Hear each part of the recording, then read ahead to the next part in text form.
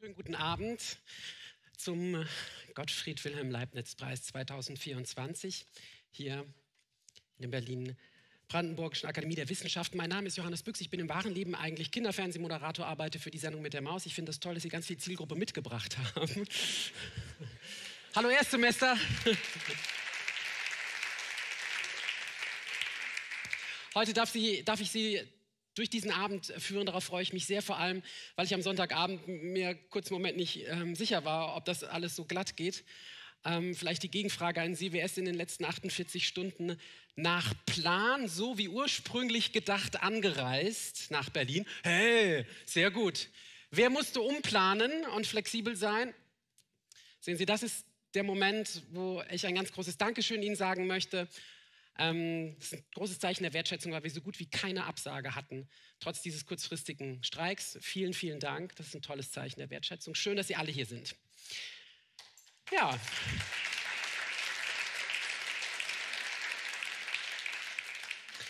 Ich möchte ganz offiziell begrüßen unsere Bundesministerin für Bildung und Forschung, Bettina Stark-Watzinger. Schön, dass Sie da sind.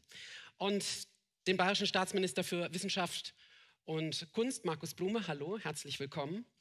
Ähm, außerdem möchte ich alle, die uns zugucken, herzlich begrüßen und via Livestream zugeschaltet sind. Einen ganz lieben Gruß, wo auch immer hin. Schön, dass Sie dabei sind. Ich möchte alle Partner der DFG, alle Mitarbeiterinnen und Mitarbeiter der DFG, ich möchte alle Pressevertreterinnen, andere Vertreter von Politik herzlich im Raum begrüßen, Familien, Freunde, Angehörige, Kinder und natürlich vor allem die Preisträgerinnen und Preisträger des heutigen Abends. Ähm, ist sehr vorteilhaft, dass Sie heute hier sind. So können Sie im Anschluss auch gleich den Geldkoffer mitnehmen nach Hause. Liebe Kinder, ich habe mal ausgerechnet, wie das ist. Ähm, die Forscherinnen und Forscher, die wir auszeichnen heute, kriegen zweieinhalb Millionen Euro. Zweieinhalb Millionen Euro. Wenn wir das in 50-Euro-Scheinen überreichen würden, wäre der Geldkoffer über 50 Kilogramm schwer. Das ist mehr als zehn Schulrenzen. Insofern hat sich die DFG doch entschieden für Überweisungen. Aber ich finde es ein schönes Bild, ne? wenn wir heute insgesamt 25 Millionen, also über eine halbe Tonne Geld verleihen, eine halbe Tonne Freiheit in der Forschung verleihen, dann ist es ein tolles Zeichen und zeigt, was diesen Preis auch besonders macht.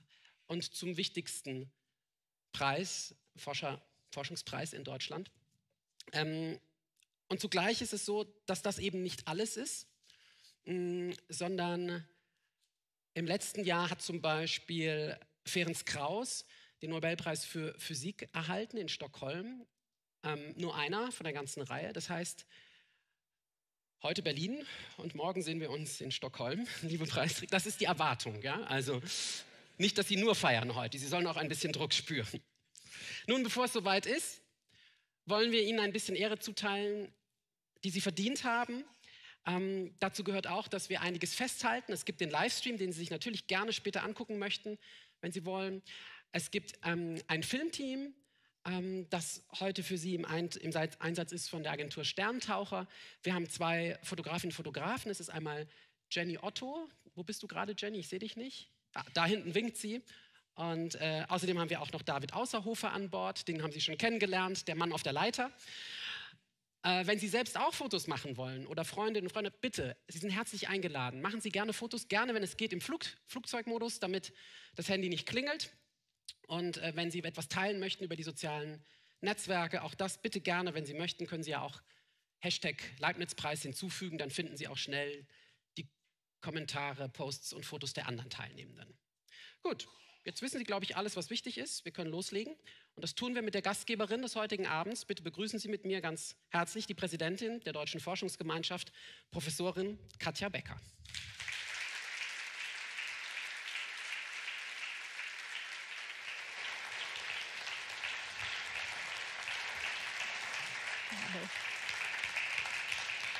Liebe Frau Becker, dieser Moment so, wenn es gerade losgeht, ähm, wie, wie schön ist der? Wie ausgeprägt ist Ihre Vorfreude jetzt? Die Freude ist riesengroß, das darf ich wirklich sagen. Ich freue mich außerordentlich, Sie auch alle begrüßen zu dürfen, hier den Preis zu vergeben im Leibniz-Saal der Berlin-Brandenburgischen Akademie der Wissenschaft, den Gottfried Wilhelm Leibniz-Preis zu verleihen, ist wirklich ähm, eine große Freude. Ja.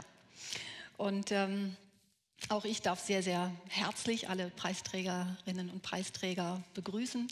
Ich begrüße aber auch ganz besonders, Herr Büchs hat das bereits gesagt, die Familien, die Freunde, die Teams, die wissenschaftlichen Teams, die Kinder. Sie alle sind so wichtig, um die Preisträgerinnen zu stabilisieren, in ihrem täglichen Leben zu motivieren und ihnen auch die Kraft zu geben, weiterzuarbeiten. Also toll, dass Sie alle da sind. Der Applaus heute gilt auch Ihnen allen. Ich freue mich außerordentlich, die Prominenz aus der Politik begrüßen zu dürfen. Sehr verehrte Frau Bundesministerin Stark-Watzinger, sehr geehrter Herr Staatsminister Blume, Frau Ministerin Schüle wird auch gleich noch zu uns stoßen. Ich begrüße die Mitglieder der Auswahlkommission, die teilweise auch hier sind. Wunderbar, dass Sie sich die Zeit genommen haben.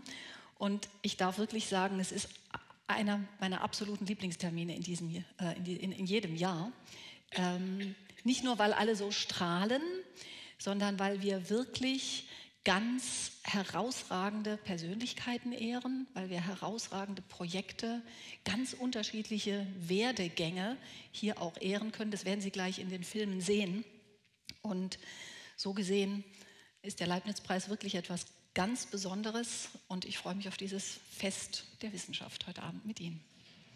Ich habe ja schon behauptet, es ist der renommierteste Forschungspreis in Deutschland. Ich glaube, das darf man auf jeden Fall sagen. Was macht den Preis noch so besonders? Ich glaube, das darf man in der Tat ähm, sagen. Ähm, der Preis bringt ein extrem hohes Renommee, großes Ansehen im Inland, aber auch international, das ist ganz klar. Ähm, wir zeichnen ja, ja, die DFG sagt immer erkenntnisgeleitete Forschung aus.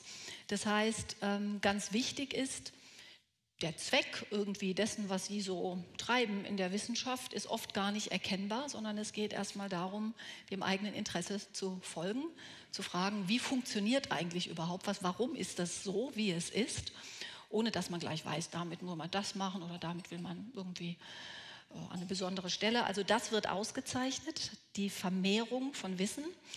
Allerdings das darf man auch sagen, es ist wirklich ein hochkompetitives Auswahlverfahren, das wir hier haben. Die Jury kann das bestätigen.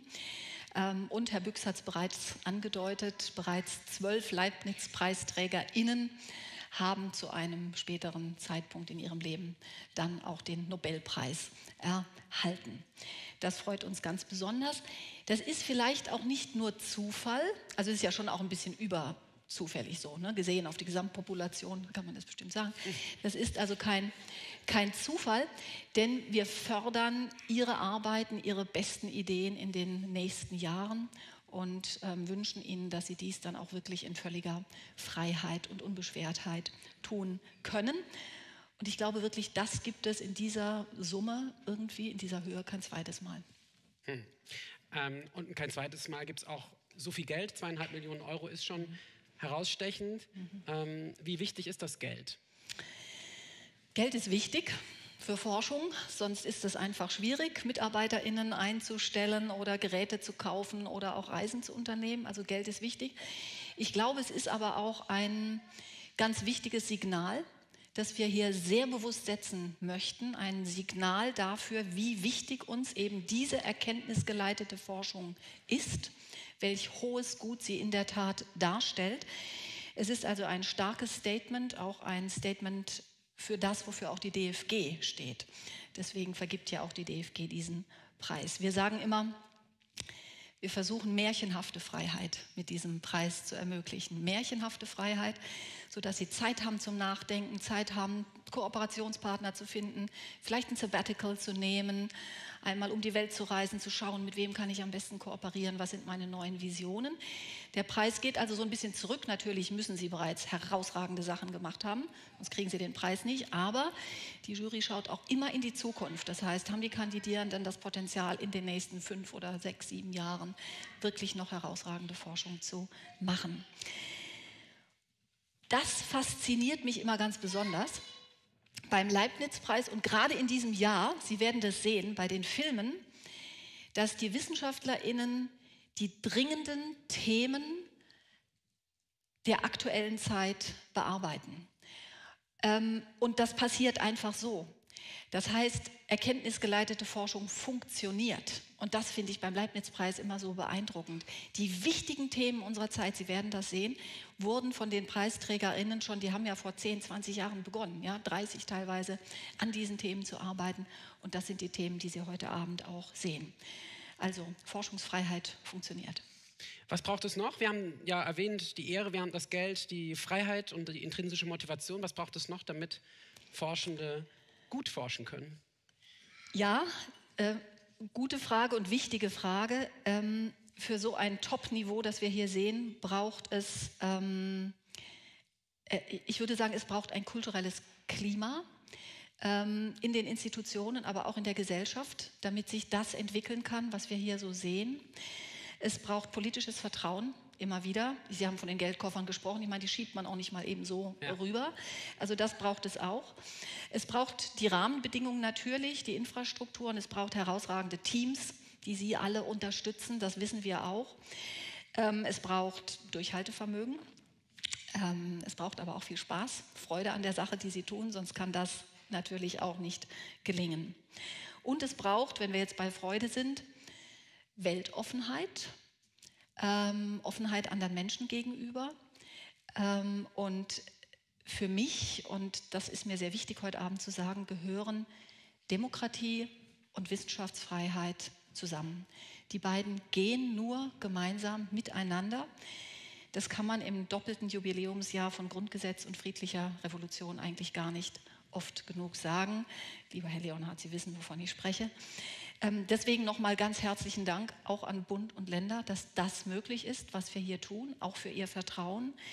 Sie schenken den besten WissenschaftlerInnen wirklich die Unterstützung, die Ressourcen, die Zeit, die sie brauchen, um das zu tun, wofür sie sich in der Forschung begeistern.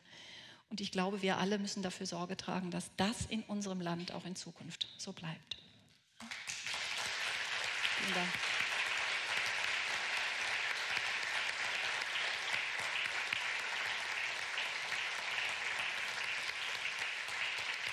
Liebe Frau Becker, vielen Dank. Dann ist das der Moment, wo wir jetzt mit den Grußworten starten. Liebe Bundesministerin, wenn Sie möchten, ja, dann brauchen wir Sie hier. Kommen Sie hoch.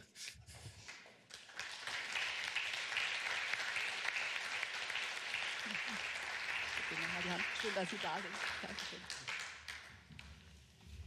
Ja, liebe Preisträgerinnen, liebe Preisträger, sehr geehrte Frau Professorin Becker, sehr geehrter Herr Kollege Staatsminister Blume, meine Damen und Herren, es ist ja schon so viel eben in wunderbarer Weise gesagt worden. Deswegen kann ich mich jetzt auch ähm, wirklich auf die Freude und den Respekt vor Ihrer Leistung ein Stück weit konzentrieren.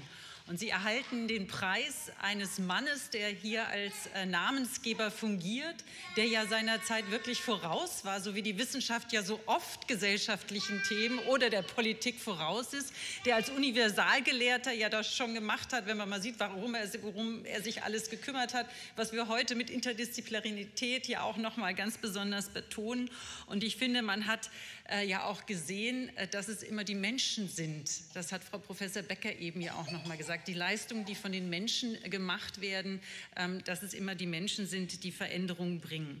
Und deswegen dieser schöne Satz von Leibniz, die Handlungen der Menschen leben fort in den Wirkungen. Ich finde, der passt so gut auf das, was Sie machen in all Ihren unterschiedlichen Themenfeldern. Zehn Beispiele eben heute, liebe Preisträgerinnen und Preisträger, für herausragende Forschung und damit auch, das muss nicht morgen, aber das hat auf jeden Fall eine Wirkung, ein Vielfaches an Chancen auf Wirkung und auf Fortschritt. Auch das hat Frau Professor Becker eben ja schon gesagt. Und deswegen möchte ich zu Beginn gleich sagen, dass ich mich herzlich bei Ihnen bedanke.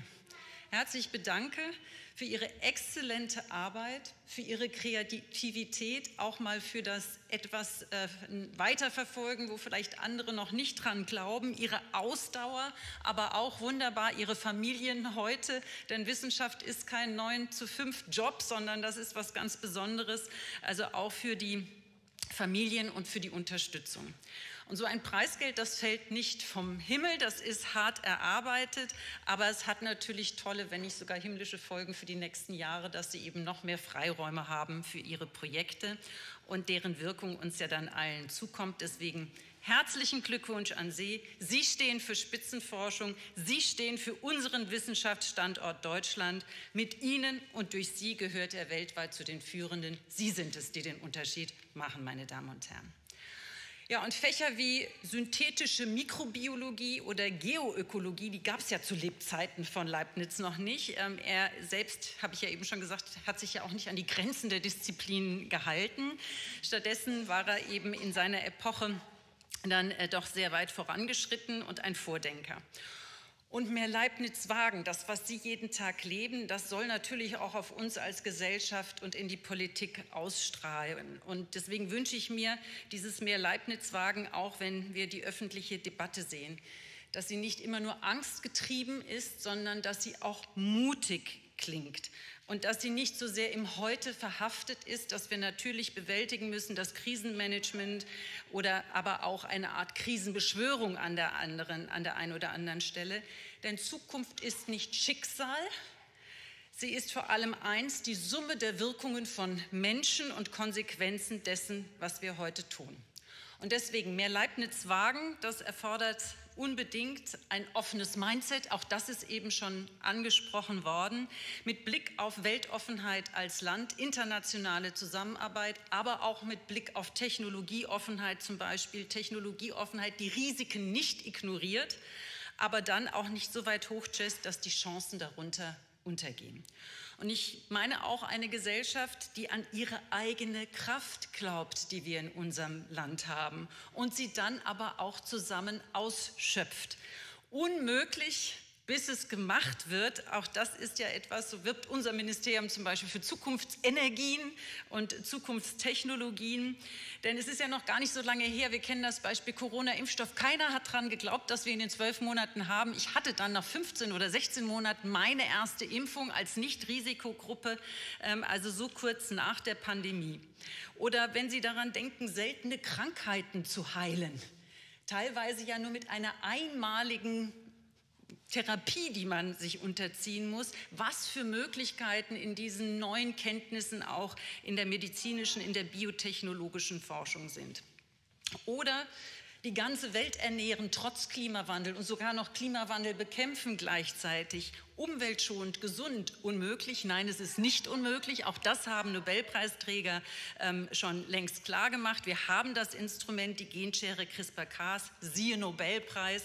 Diese neuen Züchtungstechnologien, sie sind eine neue Chance. Ich möchte aber auch sagen, weil ich jetzt ja Technologien genannt habe, dass wir gerade in den letzten Wochen und Monaten gesehen haben, wie wichtig es ist, dass wir auch die gesellschaftlichen, die historischen Zusammenhänge kennen.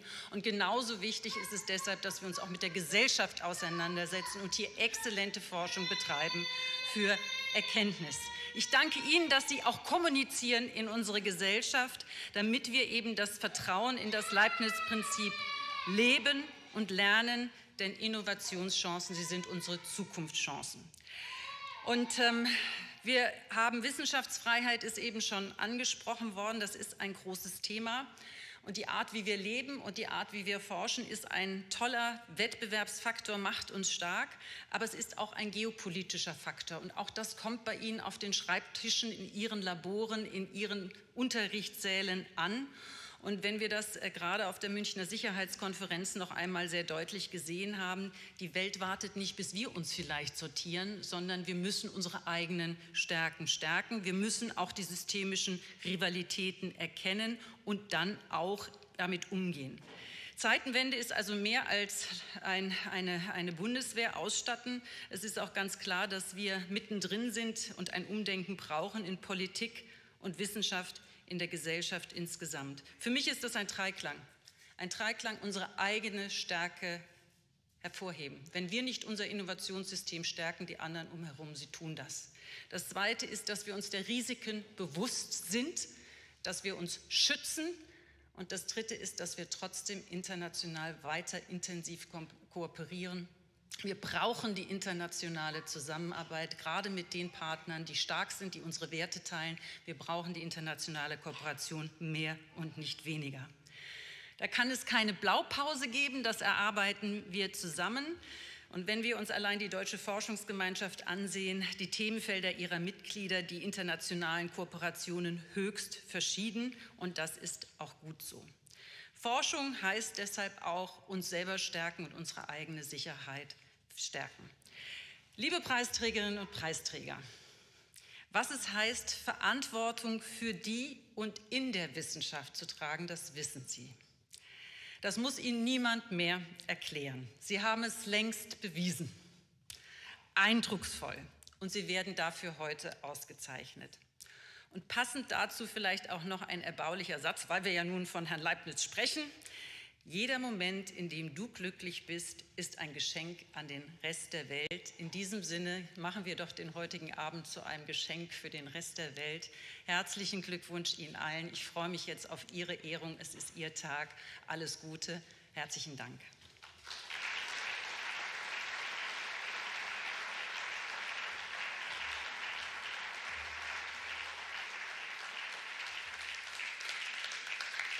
Vielen Dank. Das äh, zweite Grußwort hören wir jetzt vom stellvertretenden Vorsitzenden der gemeinsamen Wissenschaftskonferenz von Bund, Länder und Bayerischen Staatsminister für Wissenschaft und Kunst. Ein herzliches Grüß Gott, lieber Herr Blume.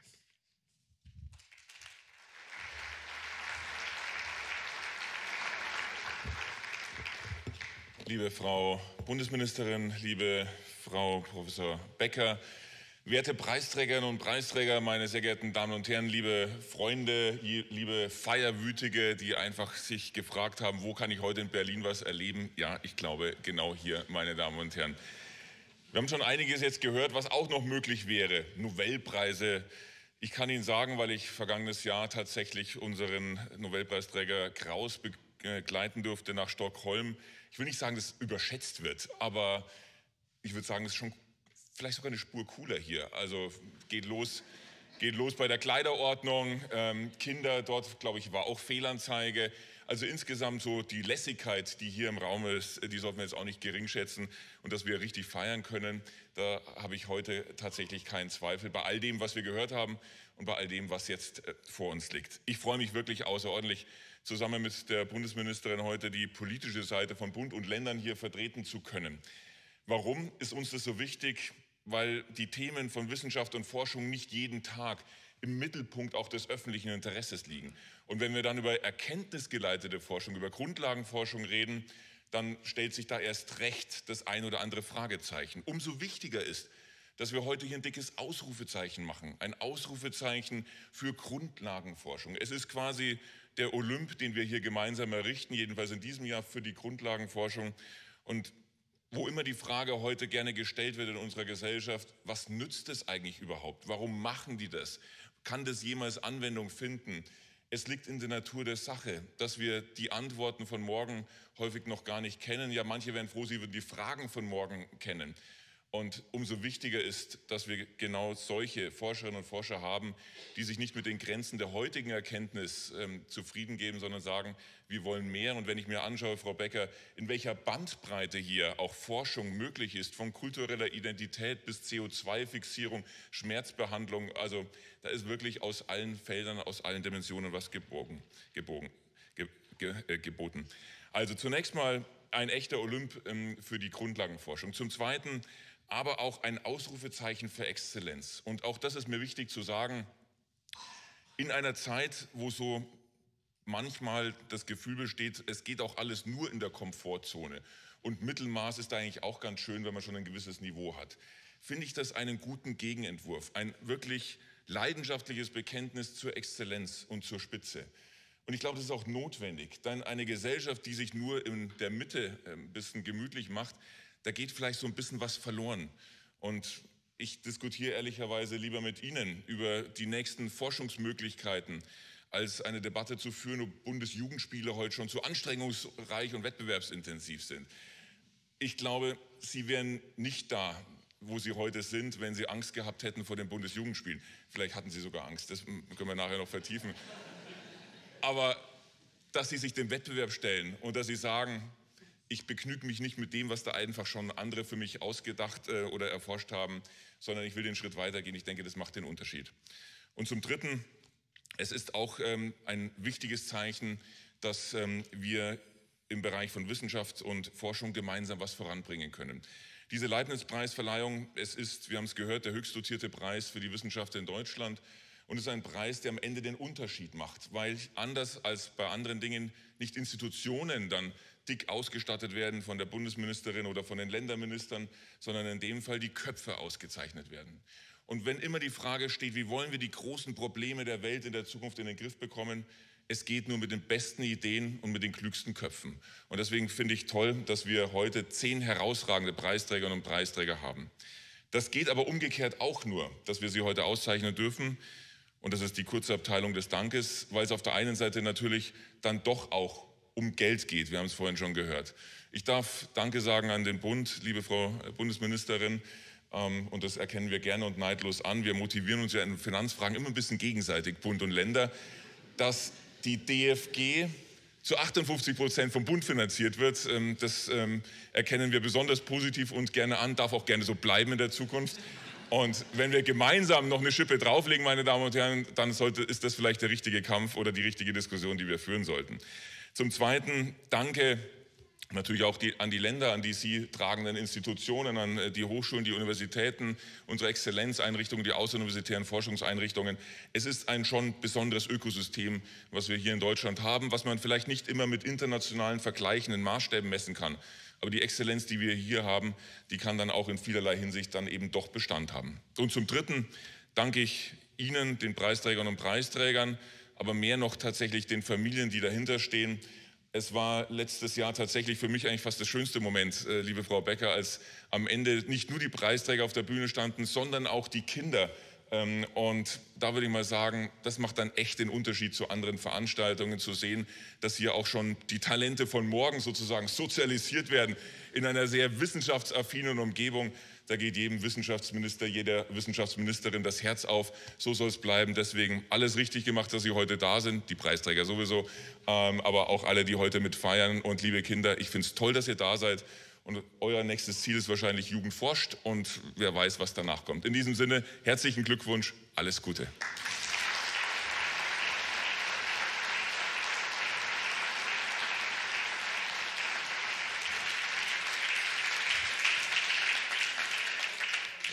Lieber Herr Blume, das ist ja sehr schön. Sie haben ja zehn Vorlagen gegeben. Das ist toll. Also das Schippe drauflegen bei der Finanzierung der DFG, das werden wir noch mal aufnehmen. Ähm, und was das ja. Und ähm, was das ähm, Steigern der Coolness angeht, so wie Sie das ausgedrückt haben, Sie sind ja Minister für Wissenschaft und Kunst, ähm, versuchen wir das jetzt gleich. Ich kann auch fast schon eine Garantie dafür abgeben, denn wir haben ganz tolle Musikerinnen und Musiker heute hier ähm, aus Köln, ein Duo. Ich weiß, Sie zählen jetzt nach und sagen, das stimmt irgendwas nicht. Also die, die im Zahlenraum bis drei ähm, sicher sind, sagen, das funktioniert nicht. Wir haben mit Deep Talk, einem eigentlichen Duo, Kontrabass und äh, Gesang, das sind Lydia Schiller und David Andres, ähm, Musiker gewonnen, die sich mit Peter Kowal verstärkt haben an der Gitarre. Äh, dekorierte Musikerinnen und Musiker. Also Exzellenz gilt auch hier, Herr Blume. Alles ähm, Musikfonds-Stipendiatinnen, Stipendiaten, ähm, Echo Jazzpreis, äh, Solistenpreis des äh, polnischen Preiswettbewerbs, Neuer Deutscher Jazzpreis. Und wir hören einen ersten Titel von euch, Nature Boy. Bitteschön.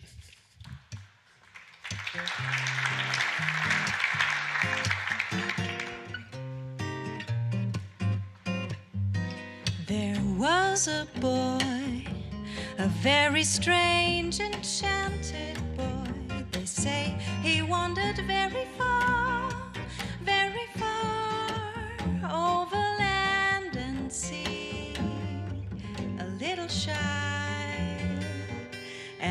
sad of eye, but very wise was he. And then one day, one magic day, he came my way. And as we spoke of many things, fools and kings, this he said to me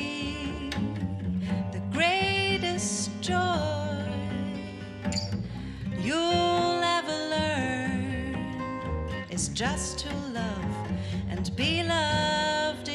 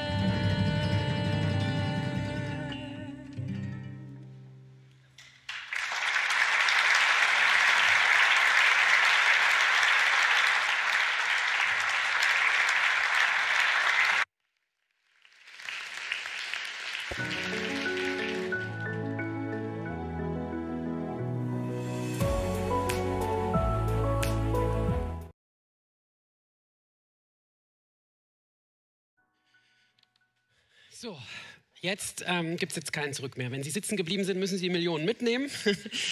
Wir starten mit der eigentlichen Preisverleihung. Ich kann Ihnen ganz kurze Idee geben, nach welchem Rhythmus das funktioniert. Wir werden einmal die Preisträgerinnen und Preisträger erwähnen, am Anfang sitzen bleiben. Dann ähm, sehen wir einen Film zu der betreffenden Person und die Forschung. Dann haben wir Frau Becker wieder oben auf der Bühne, die die Laudatio vorliest und auch eine Idee gibt, warum der Auswahlausschuss für das Gottfried Wilhelm Leibniz Programm die Preisträgerinnen und Preisträger ausgewählt hat. Und dann begrüßen wir Sie hier oben. Urkunde, Ehre, Lächeln, Fotos. Das ist die Reihenfolge. Das machen wir jetzt zehnmal hintereinander. Das wird trotzdem nicht langweilig, weil das, was Frau Becker versprochen hat, Herr Blume, was Sie erwähnt haben, Frau Stark-Watzinger, ist wirklich der Fall. Sie werden das merken. Wir decken eine Bandbreite ab und wir sind bei so vielen spannenden Themen heute. Ich bin mir sicher, allein mit den Filmen gehen Sie schon einen kleinen Moment schlauer aus dem Raum. Deswegen lohnt es sich, die Geduld aufzubringen. Wir fangen an mit dem Film ähm, zu Professor Dimitri Efetov. Film ab.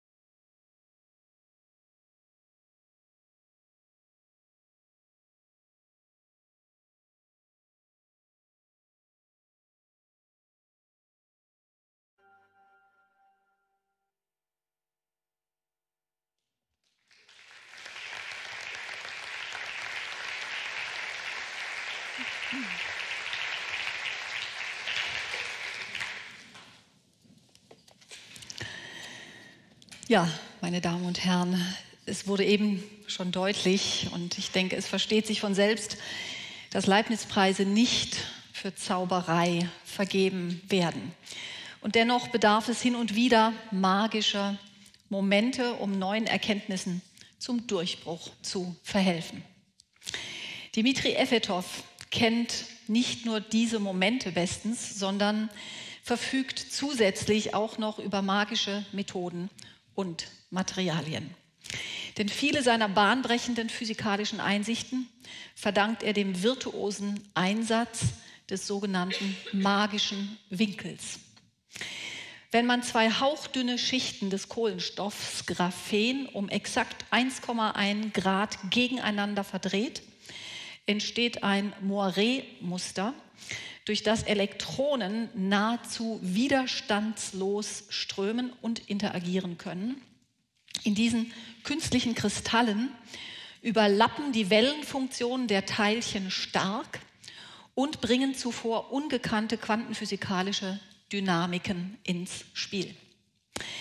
Die Entdeckung dieser faszinierenden Quanteneffekte und supraleitenden Eigenschaften hat nicht nur ein ganz neues Register theoretischer Fragen und Spekulationen aufgeworfen, sondern auch ein gleichermaßen innovatives wie kompetitives Forschung. Dimitri Efetov ist ein weltweit prägender Protagonist auf diesem Gebiet. Vor allem, weil es ihm gelungen ist, zahlreiche theoretische Hypothesen erstmals auch experimentell zu überprüfen. Insbesondere ist es ihm in seiner Arbeitsgruppe dank extrem hochwertiger Proben immer wieder geglückt, verborgene Quanteneffekte zu messen, die zuvor noch nicht einmal beobachtet werden konnten.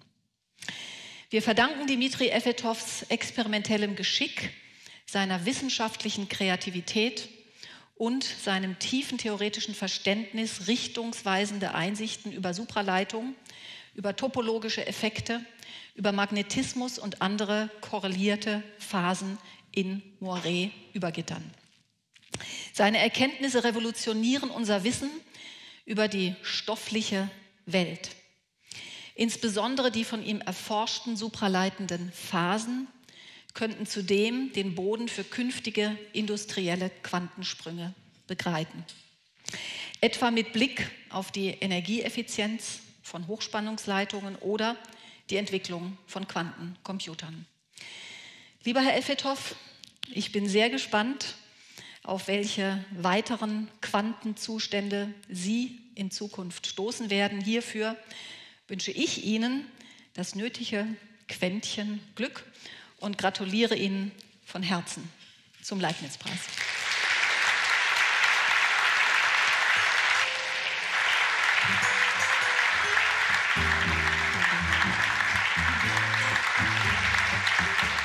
Herzlichen Glückwunsch. Stellen Sie uns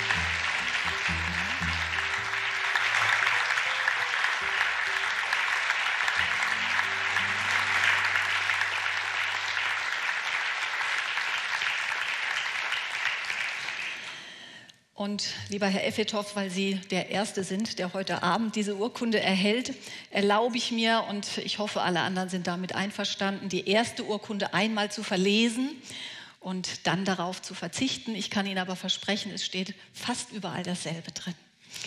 Die Deutsche Forschungsgemeinschaft verleiht Herrn Dimitri Effethoff in Würdigung seiner hervorragenden wissenschaftlichen Leistungen zur Förderung seiner zukünftigen Arbeiten den Förderpreis für WissenschaftlerInnen in Deutschland im Gottfried Wilhelm Leibniz Programm der Deutschen Forschungsgemeinschaft.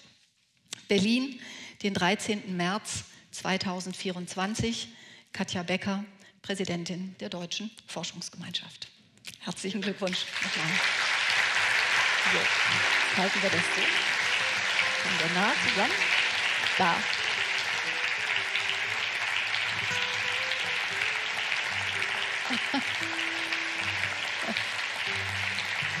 Dankeschön. Gehen wir hier runter.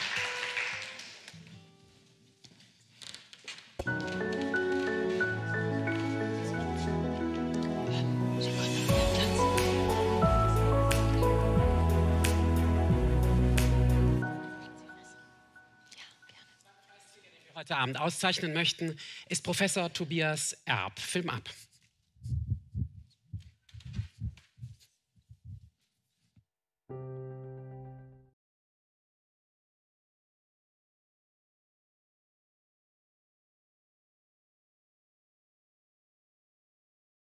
Der Forschung zusammen? Wie fixiert die Natur CO2 und wie können wir eben synthetische Stoffwechselwege bauen? Prinzipiell wollen wir das Betriebssystem der Photosynthese neu erfinden, neu denken und dann eben dieses neue Betriebssystem benutzen, um nachhaltig CO2 einfangen zu können.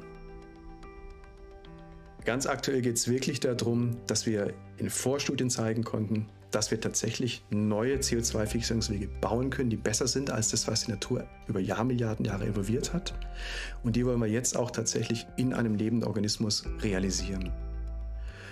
Und die Idee ist dann tatsächlich äh, sozusagen das Klimagas CO2 als nachhaltige Rohstoffquelle gewinnen zu können. Besonders spannend ist, dass wir natürlich in Bereiche vorgehen, die noch kein Mensch probiert hat, auch die Natur nicht probiert hat. Also etwas Neues zu bauen, das fordert uns heraus. Das macht doch wirklich Spaß. Und natürlich auch in den Bereich zu kommen, wo Biologie, Chemie, Materialwissenschaften zusammenkommen. Ich glaube, dass die Biologie und vor allem die synthetische Biologie wirklich Schlüsseltechnologie des 21. Jahrhunderts sind, gerade auch für die komplexe Gesundheit, Ernährung und auch Klima, dass biologische Lösungen wirklich uns helfen können oder ein Teil der Gesamtlösung sein werden.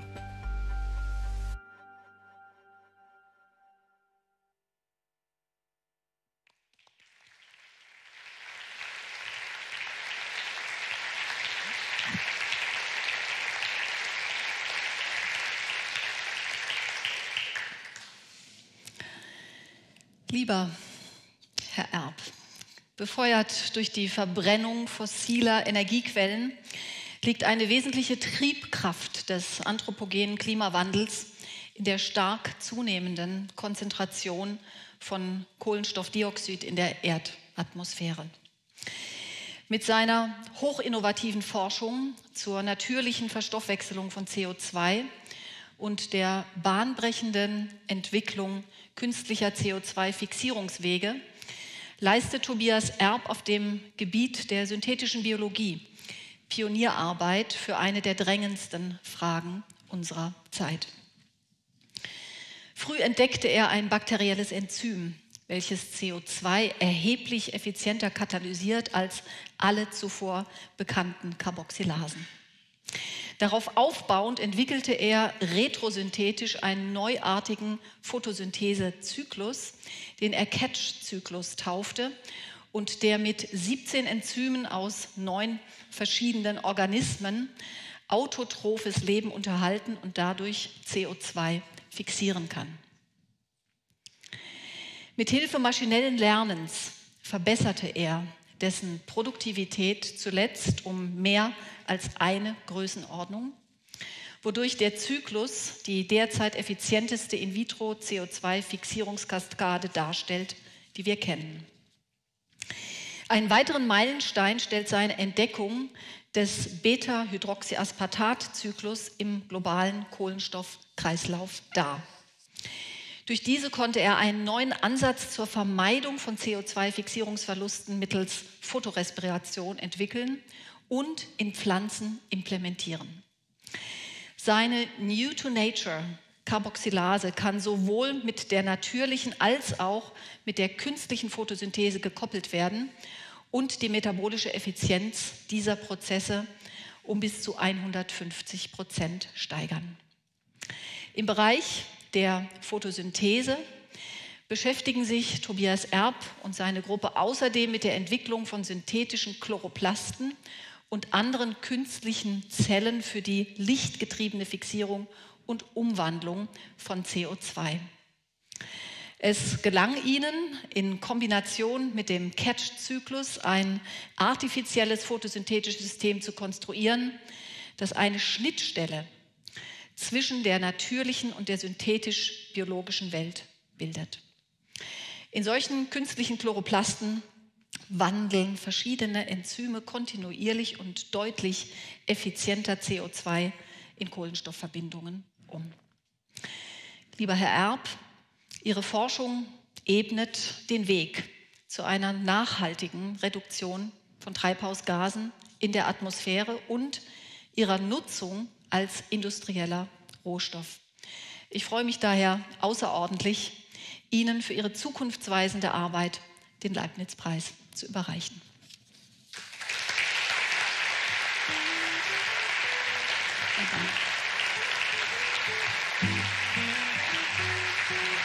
Herzlichen Glückwunsch.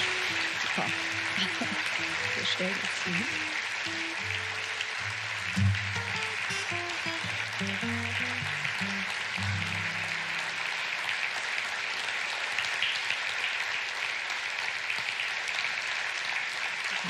Toi, toi, super.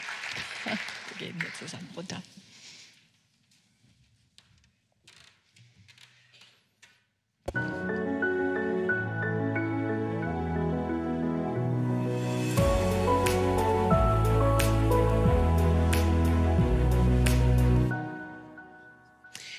Der nächste Preisträger ist Professor Jonas Gretlein. Film ab.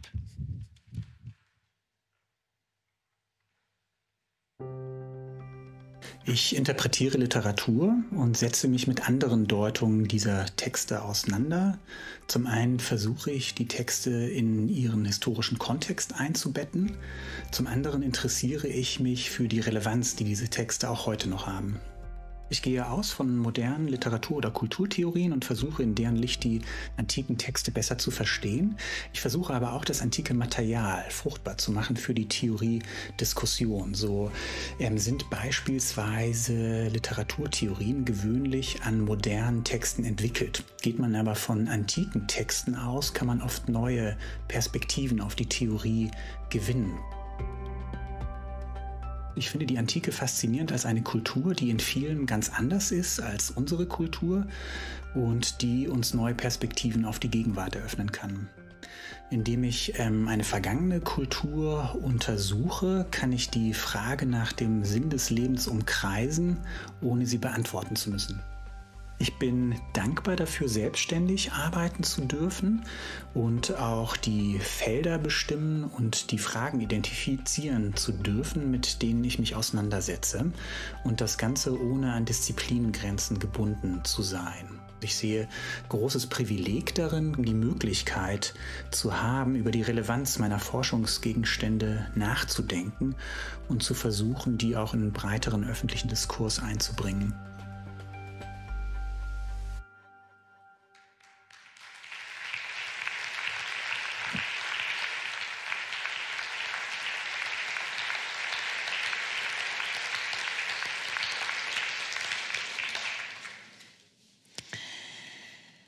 Ende von H.G. Wells weltberühmtem Roman Die Zeitmaschine verschwindet der namenlose Zeitreisende in ein fernes Jahrhundert und ward nie wieder gesehen. Wir haben nun allerdings Grund zur Annahme, dass er wieder aufgetaucht ist und hier und heute unter uns weilt. Denn Jonas Gretlein wandert ebenso behende wie ortskundig zwischen den Zeitaltern, als verfüge auch er über die Fähigkeit, Raum und Zeit zu krümmen. Seine herausragenden Arbeiten zur Narratologie antiker Erzählformen, zur antiken Ästhetik und zum Verhältnis von antikem Geschichtsbild und Erfahrung haben nicht nur die klassische Philologie sondern auch Literatur, Kultur und Geschichtswissenschaften nachhaltig beeinflusst. Jonas Gretlein ist ein international ausgewiesener Kenner sämtlicher antiker Gattungen sowie zeitgenössischer Literatur- und kulturtheoretischer Konzepte und Methoden. Seine exakten komparatistischen Analysen und umfassenden Interpretationen zeichnen sich ausnahmslos durch herausragende Material- und Theoriekenntnisse aus. So etwa seine Phänomenologie der homerischen Epen oder seine ebenso ästhetische wie ethische Deutung der Apathe. Durch seine innovative, multidisziplinäre Aneignung werden die historischen Korpora zu unerschöpflichen Quellen des Sinns zu Triebfedern für die Theorie- und Methodenbildung der Gegenwart. Er rekonstruiert die Historizität der Antike kunstfertig als eigenständiges Paradigma, ohne sie mit modernen Maßstäben zu messen und dennoch zum Greifen nah. Gerade weil Jonas Gretlein die historische Spannung stets aufrecht erhält, haucht er der Antike frischen Atem ein. Auf diese Weise ist er zu einem weltweit führenden Botschafter des Altertums geworden, dessen beeindruckende Publikationstätigkeit ein begeistertes Publikum auch außerhalb seines Faches findet. Denn Jonas Gretlein versteht es wie kein zweiter, das Nachleben der Antike in seiner gesellschaftlichen, kulturellen, aber auch persönlichen Aktualität auf den Begriff und in das öffentliche Bewusstsein zu bringen. Lieber Herr Gretlein, ich freue mich darauf, Ihnen auf zahlreiche weitere Zeitreisen zu folgen und gratuliere Ihnen sehr, sehr herzlich zum Leibniz-Preis.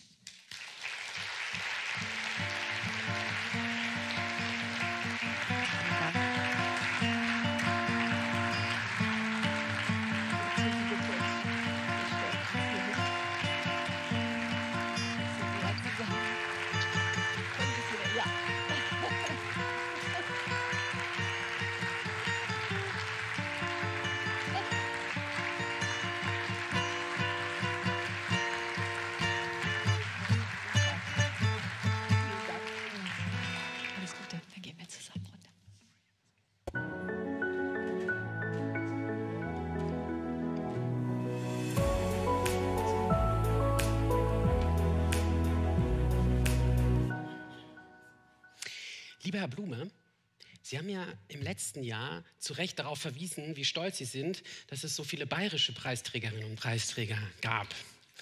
Aber in dem Jahr mit dem Herrn Gretlein und unserer nächsten Preisträgerin sind wir in Heidelberg gar nicht schlecht aufgestellt. Das wollte ich jetzt gerade mal unterstreichen als Retourkutsche. Die Hesse, ah, die Hesse. Ja, natürlich gucke mir ab, wie Sie später. Ne? So, jetzt aber erstmal unsere nächste Preisträgerin aus Heidelberg.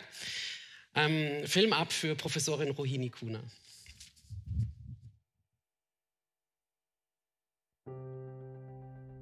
Man sagt, dass die Zeit alle Wunden heilt. Nicht so aber bei chronischen Schmerzen.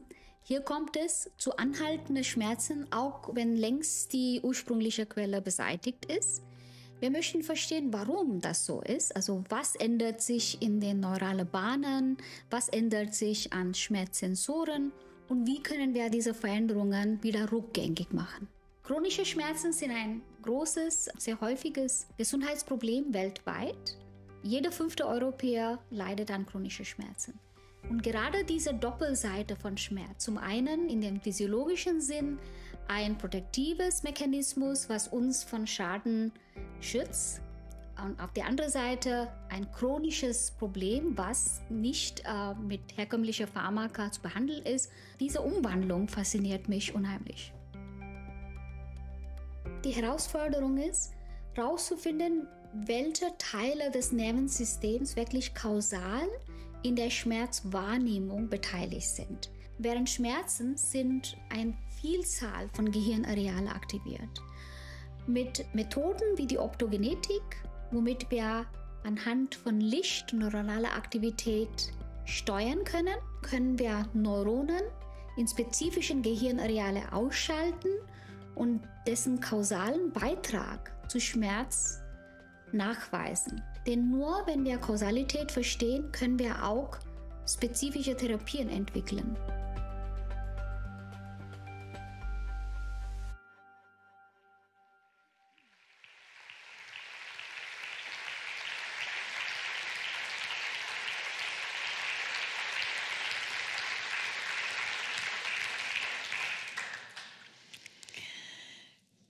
Liebe Frau Kuna, allein in Deutschland leiden mehr als 10 Millionen Menschen unter andauernden oder wiederkehrenden Schmerzen. Chronischer Schmerz ist eine Volkskrankheit, die sich nicht auf das rein körperliche Leiden beschränkt und die Lebensqualität der Betroffenen stark einschränkt. Sie stellt uns zudem vor große gesellschaftliche und auch ökonomische Herausforderungen. Die Mühsal dieser stillen Epidemie kann nur lindern, wer chronische Schmerzen in ihrer Multidimensionalität betrachtet und ihre Ursachen in den Blick nimmt. Beides gelingt Rohini Kuna in bravouröser Weise. Ihre Forschung führt die unterschiedlichen Dimensionen der Schmerzverarbeitung zu einem kongruenten Ganzen zusammen und ermöglicht dadurch enorme Fortschritte im Verständnis chronischer Schmerzen. Sie vereint erkenntnisgeleitete und translationale Motivation und sie zeichnet sich durch eine methodische Vielfalt sowie eine dezidiert interdisziplinäre Herangehensweise aus. Vor allem fasst Rohini Kuna den Schmerz an seinen zellulären und molekularen Wurzeln und entwickelt auf diese Weise ebenso innovative wie effektive Therapieansätze. Insbesondere dank ihrer bahnbrechenden Erkenntnisse zur Rolle höherer Hirnregionen wie Neokortex oder Motorkortex konnte sie grundlegende neuronale Codes der Schmerzwahrnehmung entschlüsseln. Vor allem mit Blick auf die Schwelle, ab der eine physiologische Warn- und Schutzfunktion pathologisch wird. Auch ihre Arbeiten zur schmerzlindernden und nebenwirkungsarmen Wirkung von Cannabinoiden zum Angstgedächtnis sowie ihr Mausmodell zur analgetischen Therapie von Krebsschmerzen haben international viel beachtete Durchbrüche erzielt. Ihre Beschreibung der Dimerisierung und Kaliumregulierung von GABA-Rezeptoren hat gar die Fundamente eines neuen Forschungsfeldes gelegt. Zuletzt fanden ihre Studien zu neuropathischen Phantomschmerzen breite Anerkennung.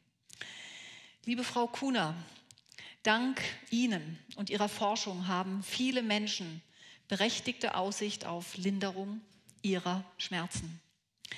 Wenn ein vorrangiges Ziel der Wissenschaft frei nach Berthold Brecht darin besteht, die Mühseligkeit der menschlichen Existenz zu erleichtern, dann sind Sie eine Wissenschaftlerin par excellence.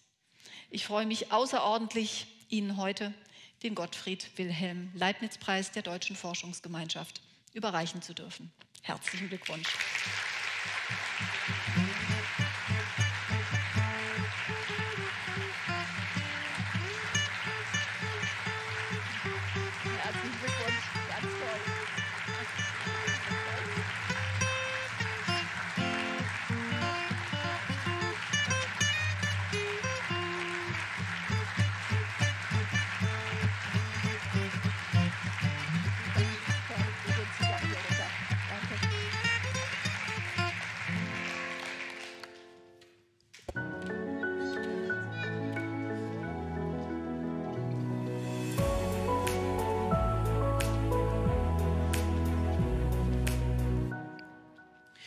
Der fünfte Preis, den wir heute verleihen wollen, geht an Frau Professorin Eva Fiemann. Film ab.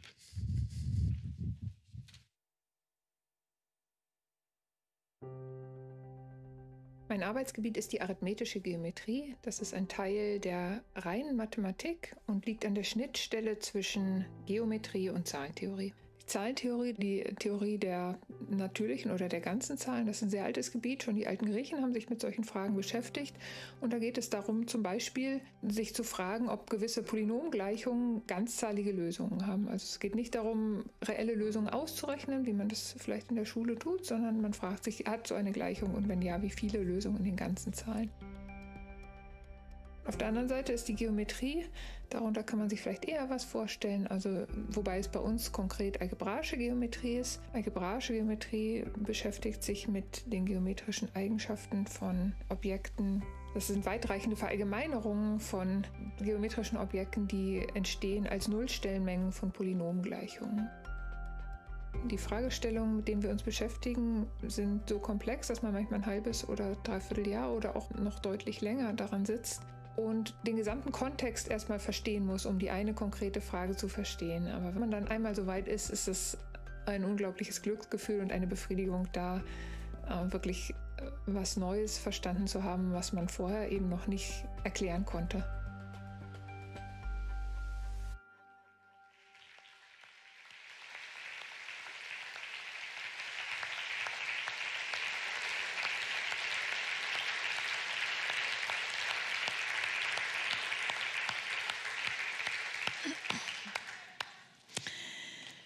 Liebe Frau Fiemann, verborgene Verbindungen freilegen, unvermutete Verknüpfungen finden. Das ist das Programm, mit dem Robert Langlands eines der faszinierendsten und innovativsten Arbeitsgebiete der theoretischen Mathematik an der Schnittstelle zwischen Zahlentheorie und Darstellungstheorie begründet hat. Eva Fiemann hat dieses Programm entscheidend vorangebracht.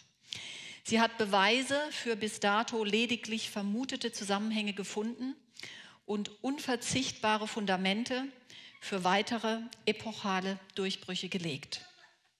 Vor allem aber hat sie solche Durchbrüche selbst erzielt und die arithmetische, algebraische Geometrie nachhaltig weiterentwickelt.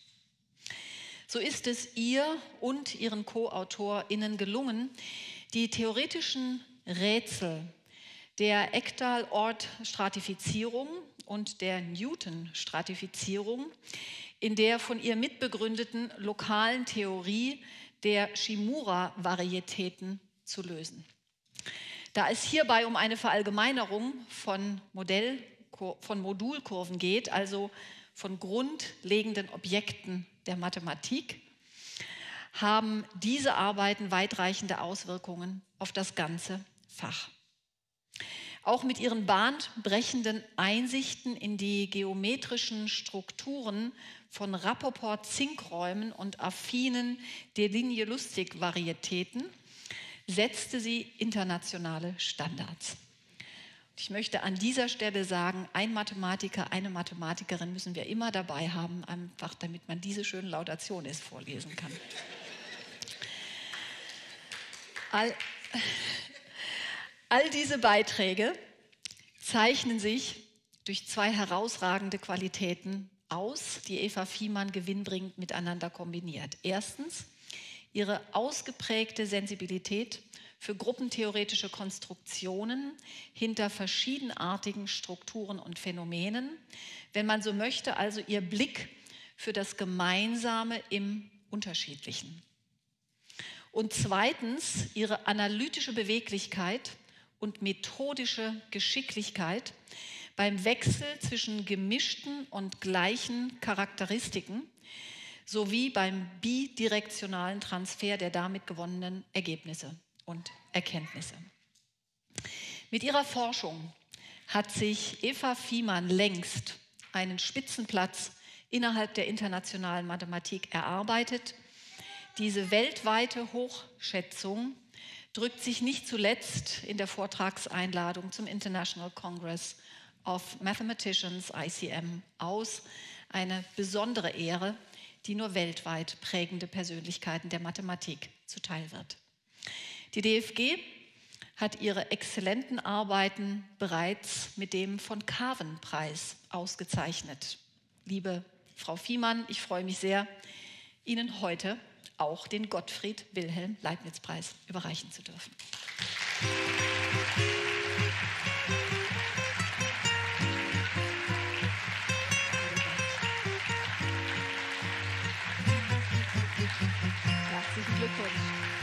gehen nach hier vorne.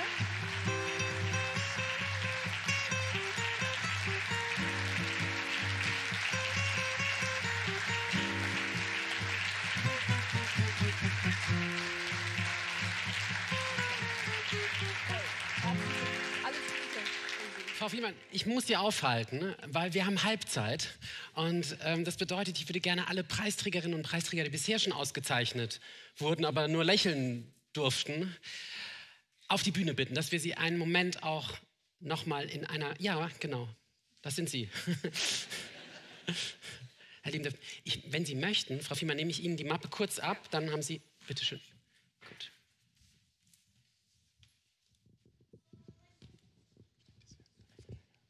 es ist ja auch ein bisschen fies, alle reden über einen und man darf nicht einmal Danke sagen oder selbst, das möchten wir jetzt ändern, aber vielleicht die erste Frage, Herr Fettoff, ähm, naja, bei so viel Geld, die jetzt das verbunden ist mit dem Preis, äh, würde mich natürlich sehr interessieren, was Sie vorhaben mit den zweieinhalb Millionen Euro. Oder sind Sie noch nicht komplett verplant? Nee, also ähm, das Interessante ist ja, wenn man so viel Geld auf einmal hat, dann wird man auf einmal sehr kreativ. Ja. ja.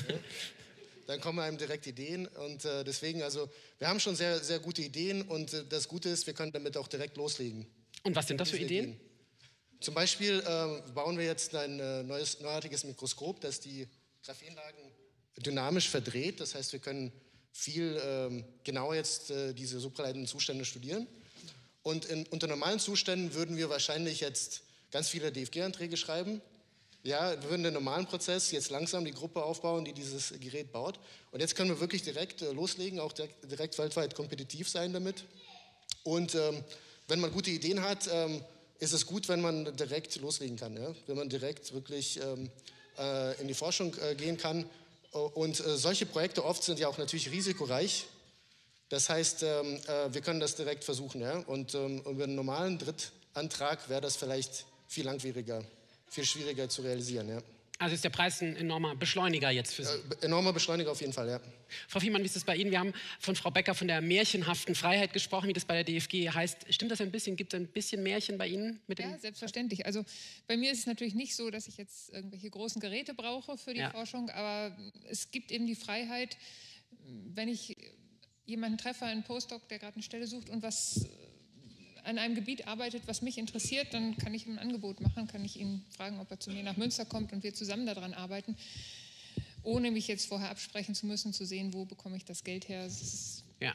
eben jetzt auch die Freiheit, einfach ähm, Kollegen ansprechen zu können, ob sie nach Münster kommen wollen und mit mir zusammenarbeiten wollen in den nächsten Jahren.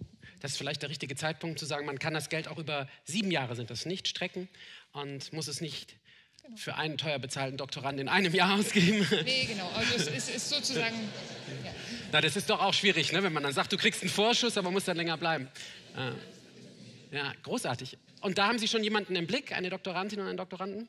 Ja, ich habe einen Doktoranden im Blick, aber es geht natürlich nicht, wie Sie schon ja. sagten, nicht um den einen Doktoranden, der jetzt ja. sehr viel Geld verdienen wird, sondern ähm, eher um eine ganze Arbeitsgruppe aufzubauen, eine ganze weiter Gruppe. aufzubauen. Toll. Ja. Gibt es noch jemanden, der die Weltreise gebucht hat, die Frau Becker erwähnt hat? nein, um Forschungskontakte zu knüpfen auf den Malediven. Ähm, nein. Ein anderes Vorhaben? Ich darf nicht fliegen als ja. CO2-Fixierer. Ja, sehr gut, ja. Und ich bin schon in Marburg eine märchenhafte Stadt. Insofern sind wir schon bedient. Nein, es geht um Köpfe, glaube ich, wirklich tatsächlich. Köpfe herzuholen, Ressourcen und vor allem Zeit zu geben.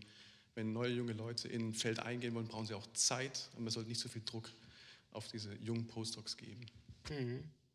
Und ähm, Jetzt haben wir über, wir haben über Geld, wir haben über Zeit gesprochen. Welche Voraussetzungen braucht es noch für innovative Forschung bei Ihnen im Feld? Im Prinzip sie, ist, ist, es schon die, die, die Magic. Mhm. Äh, es geht auch um das Umfeld tatsächlich. Ich glaube, wir stehen alle hier, weil wir auch tolle Teams haben. Es geht wirklich darum, eine Komposition herzustellen von Menschen, die auch komplementär sind zu unserer Expertise. Und ich glaube, das ist auch ganz wichtig, bewusst Interdisziplinarität in das Labor zu holen und bewusst eben auch an die eigenen Grenzen zu stoßen, mit dem Team zusammen. Herr Kretlein, ähm, ich ähm, dachte, als ich dann den Film gesehen habe, ja, aber wie kann denn, wenn ich mich mit etwas beschäftige, was so lange zurückliegt, das dann auch einen Einfluss auf heute haben? Wie denken Sie darüber nach, wenn Sie diese alten Schriften ähm, vor sich haben, was das für einen Einfluss auf unsere Welt heute hat? Ähm, naja, die Antike hat nicht mehr den Anspruch, klassisch zu sein. Ähm, wir können keine Normen mehr aus der Antike ableiten, aber trotzdem lohnt sich, glaube ich, die Beschäftigung mit der Antike auch heute noch, gerade dann, wenn wir sie in ihrer Fremdartigkeit ähm, akzeptieren. Dann erlaubt uns die Antike eine fremde Perspektive auf die Gegenwart zu entwickeln. Da kann uns die Gegenwart, die eigene Kultur fremd werden und wir können Dinge, die ansonsten selbstverständlich vorausgesetzt werden, plötzlich hinterfragen. Das heißt, sie gucken dann manchmal mit, Blicke, mit dem Blick eines alten Griechen, der es gewohnt ist, es gibt Sklaverei, es gibt eine ganz tolle Ausstellung hier zum Thema Sklaverei. Wenn Sie nachher fünf Minuten Zeit haben, da läuft einem manchmal den Rücken runter und dann haben Sie eine andere Einstellung zum Heute, wo es so etwas Sklaverei ist jetzt ein Beispiel, was Altphilologinnen und Altphilologen eher vermeiden, Aha, weil die Antike ja. da wenig exemplarisch ist. Ich dachte, die Griechen wurden von den Römern versklavt und als Hauslehrer dann nach Italien verschafft. Ja, aber wir haben bei den antiken Philosophen auch richtige Rechtfertigung für die Sklaverei, beispielsweise bei ähm, Aristoteles. Ich will ein anderes Beispiel geben und das wäre der Begriff der Ökonomie. Das ist ein Begriff, den wir alle dauernd gebrauchen und der sich aus dem Griechischen ableitet. Das sind die Gesetze des Hauses. Und wir denken bei der Ökonomie an Wirtschaft, Wenn wir uns aber antike Äußerungen zur Ökonomie anschauen, fällt auf, dass da auch immer juristische, soziale und religiöse Fragestellungen eine Rolle spielen. Dass also wirtschaftliche Fragen immer eingebettet sind in einen breiteren Horizont. Ja, ähm, Frau Kuhner, ich kann mir vorstellen, Ihnen geht das nicht so, dass, man, dass Sie erläutern müssen, ja, warum forsche ich an chronischen Schmerzen, weil Sie wahrscheinlich in einer größeren Runde sofort jemanden in der Runde haben, der sagen, gilt das auch für Arthrose oder ähm, und dann gleich einen Fall hat. Wie geht es Ihnen, wenn Sie Menschen berichten von Ihrer Forschung?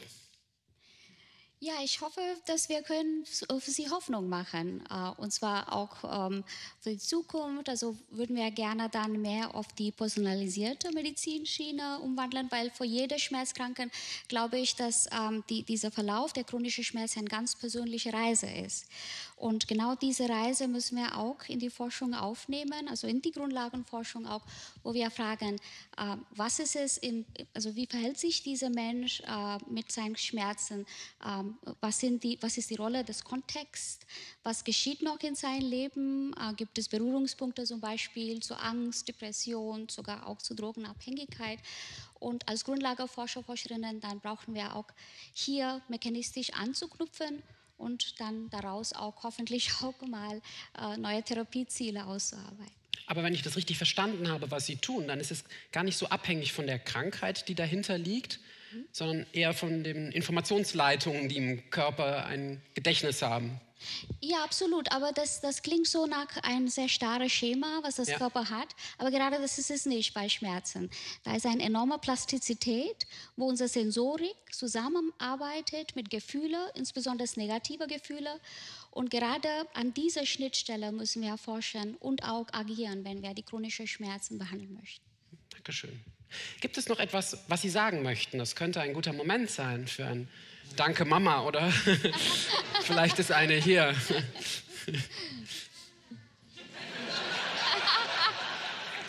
Wir danken allen Vätern und Müttern.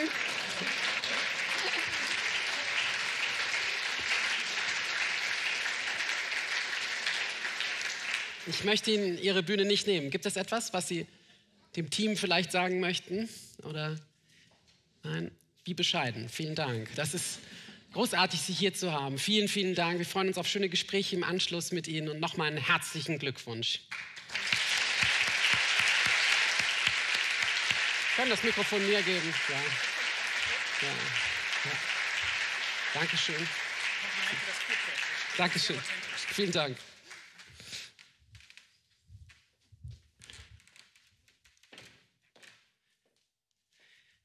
So, wir steigern die Coolness, Herr Blume zweites Musikstück und freuen uns, dass wir jetzt ähm, wieder Deep Talk mit Peter Kowal auf der Bühne haben. Wenn Sie das noch nicht gesehen haben, es gibt ein eigenes kleines Blatt zum Thema Musik heute auf Ihren Stühlen und da gibt es einen QR-Code drin. Also wenn Sie sich in die Musik verlieben, dann gibt es da einen Link zur Webseite und vielleicht auch die Gelegenheit, das letzte Album sich anzuhören. Spiraling heißt es. Ähm, wir hören jetzt noch einen absoluten Klassiker, nämlich Sky and Sand. Bitte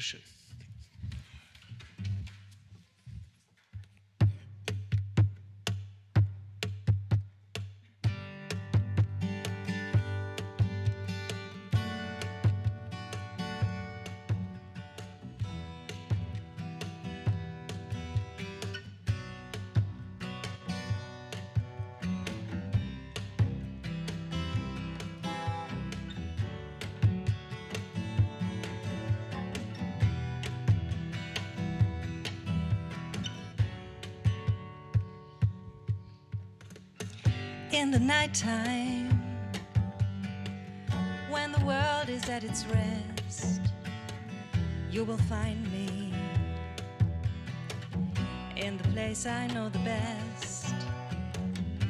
Dancing shouting flying to the moon. You don't have to worry cause I'll be come back soon and we'll build our castle the sand. Design our own world, ain't nobody understand. I found myself alive in the palm of your hand. As long as we're flying, all this world ain't got no end.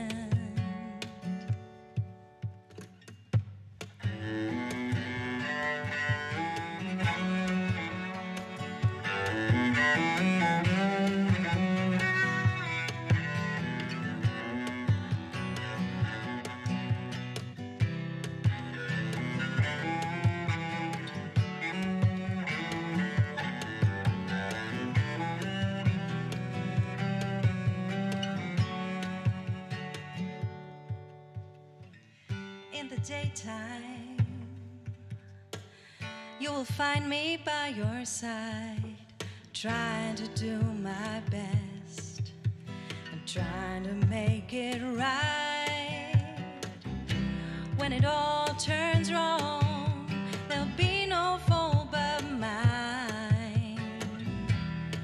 But it won't hit hard, cause you let me shine, and we'll build our castle in the sky and in the sand. Design our own world, ain't nobody understand. I found myself alive in the palm of your hand. As long as we're flying, all this world ain't got no end. All this world ain't got no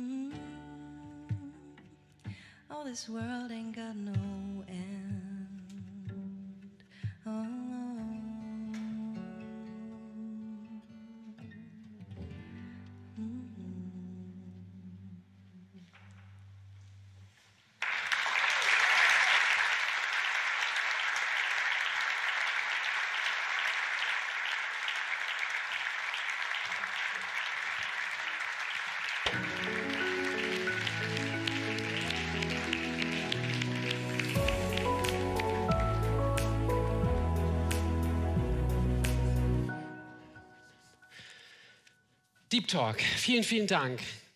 Das ist so ein tolles Zeichen, ne? wenn ein Raum mit über 200 Menschen gefüllt so leise ist. Ähm, schöner Moment, vielen Dank dafür.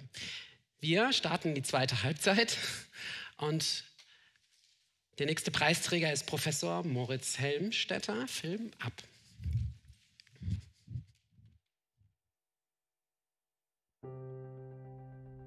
Wir erforschen die Nervenzellnetzwerke im Gehirn.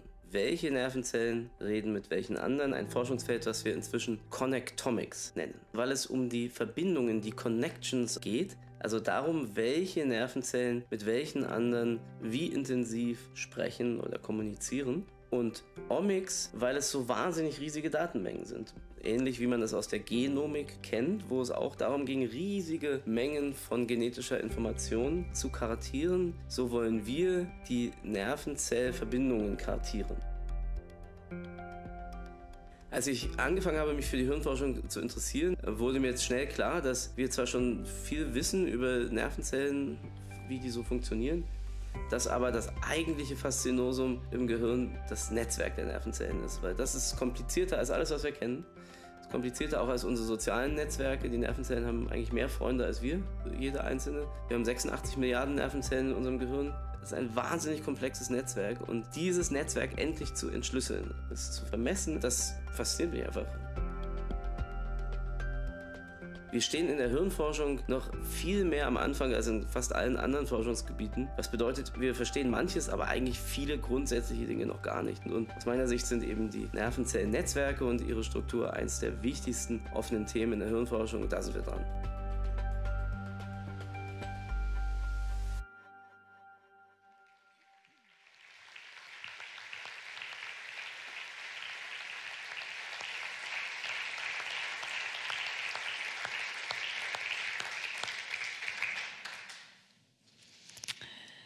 Lieber Herr Helmstetter, ganz offensichtlich ist das menschliche Gehirn größer als das zerebrale Pendant der meisten anderen Säugetierspezies. Bei der kognitiven Leistung aber kommt es nicht zentral auf die Größe an. Vielmehr sind es die neuronalen Netze, die entscheidend für unsere Hirnleistung verantwortlich sind.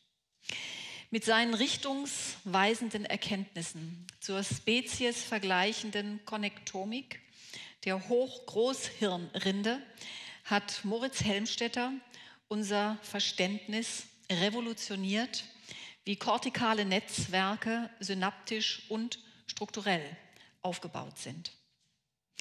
Ihm ist es gelungen, die Grundprinzipien der Hirnorganisation anhand der Ultrastruktur kortikaler Schaltkreise hochauflösend darzustellen und in neuartiger Systematik zu entschlüsseln. Seine Arbeit führte zu wesentlichen Erkenntnissen über die Organisation und funktionelle Spezifität dieser Schaltkreise.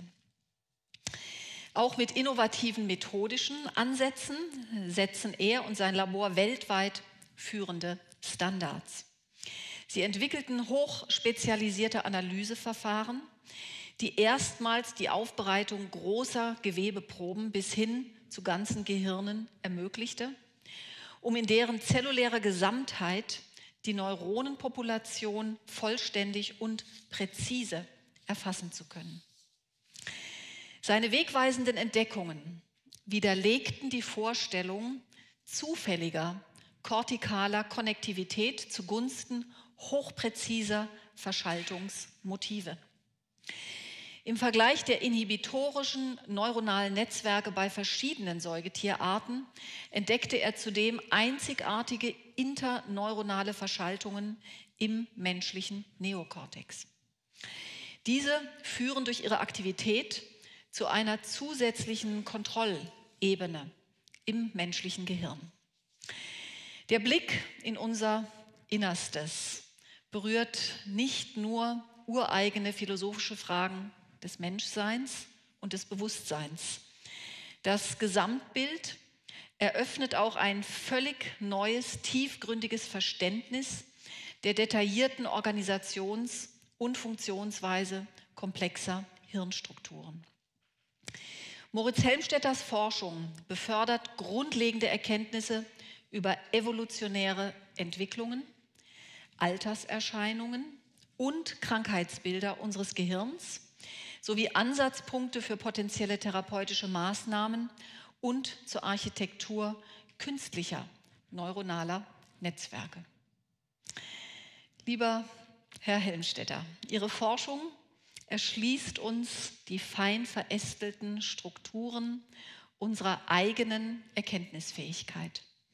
Einen Mikrokosmos unendlicher Vielfalt und Vernetzung, in dem nichts unmöglich scheint.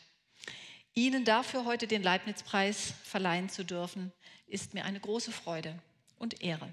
Herzlichen Glückwunsch.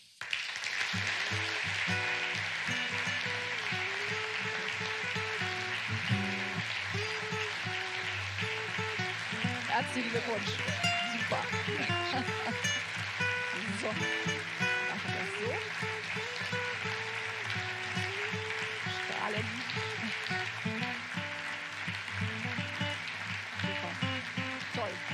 Feiern Sie kräftig. Danke.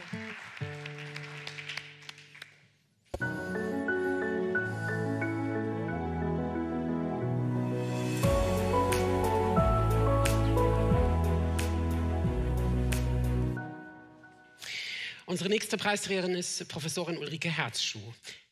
Film ab.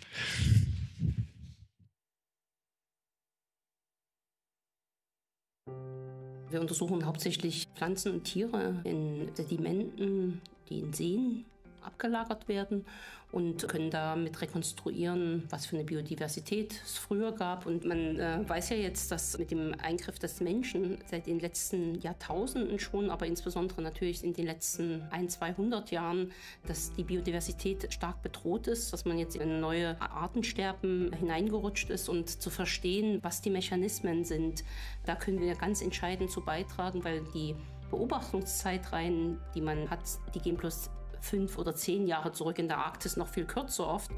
Und wir können halt mit unserem Wissen dazu beitragen, dass man einfach viel länger zurückschauen kann.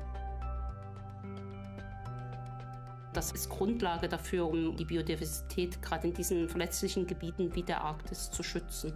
In der Frühphase meiner Forschung hatten wir viele Sedimente aus der Wüste Gobi und aus dem Tibet-Plateau und haben untersucht, wie sich der Monsun entwickelt hat und konnten feststellen, dass äh, diese Monsunentwicklung in China ganz stark auch damit zusammenhängt, wie sich die Westwinde über die Zeit entwickelt haben. Und diesen Zusammenhang zwischen Monsunentwicklung und Westwindentwicklung, die für das zukünftige Klima in Nordchina eine zentrale Rolle spielen, da habe ich, glaube ich, entscheidende Beiträge geleistet.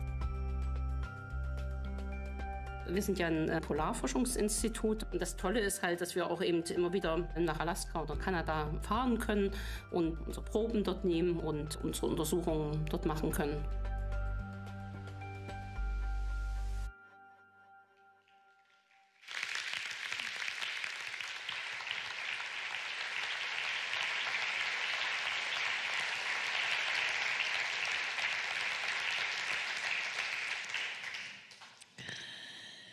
Liebe Frau Herzschuh, ob im tibetischen Hochgebirge oder im jakutischen Permafrost, ob in der Antarktis oder im hohen Norden Alaskas. Die entlegensten Orte dieser Welt halten einen einzigartigen Wissensschatz bereit, den Ulrike Herzschuh in zahlreichen Expeditionen gehoben hat.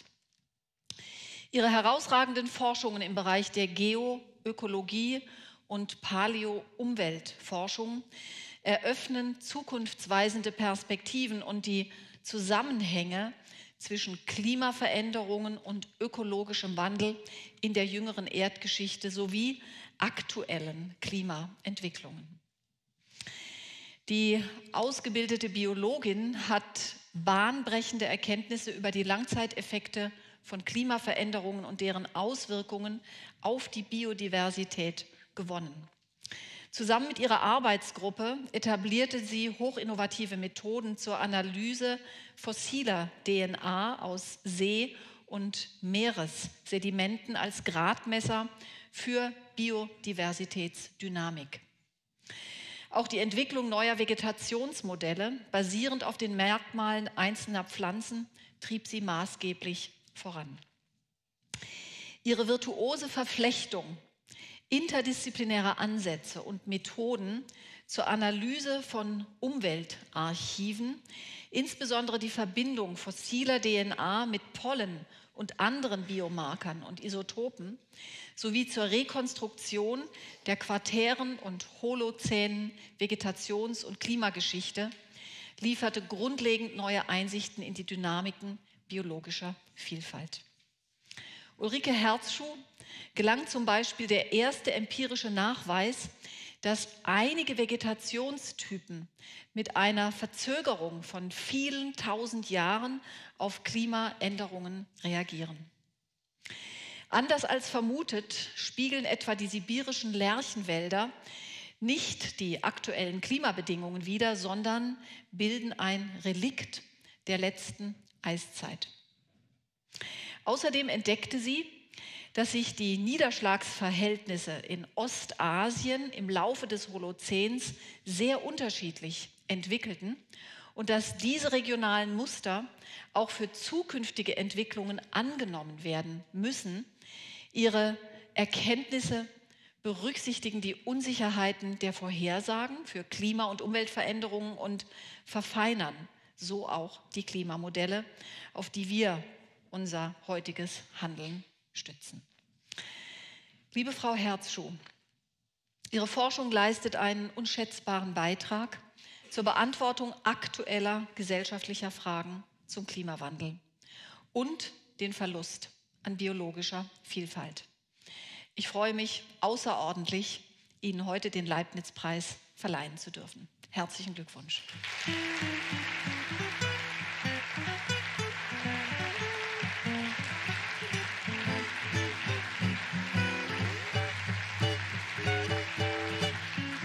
Glückwunsch. Ganz toll. Wir freuen uns sehr. Wir gehen zu den Kreuzen.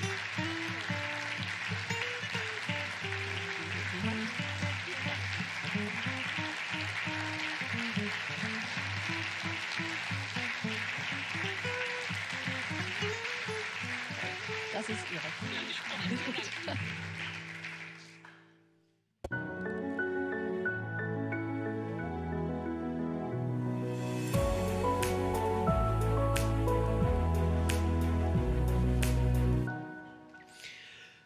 Der nächste Leibniz-Preis geht an Professor Eike Kills. Film ab.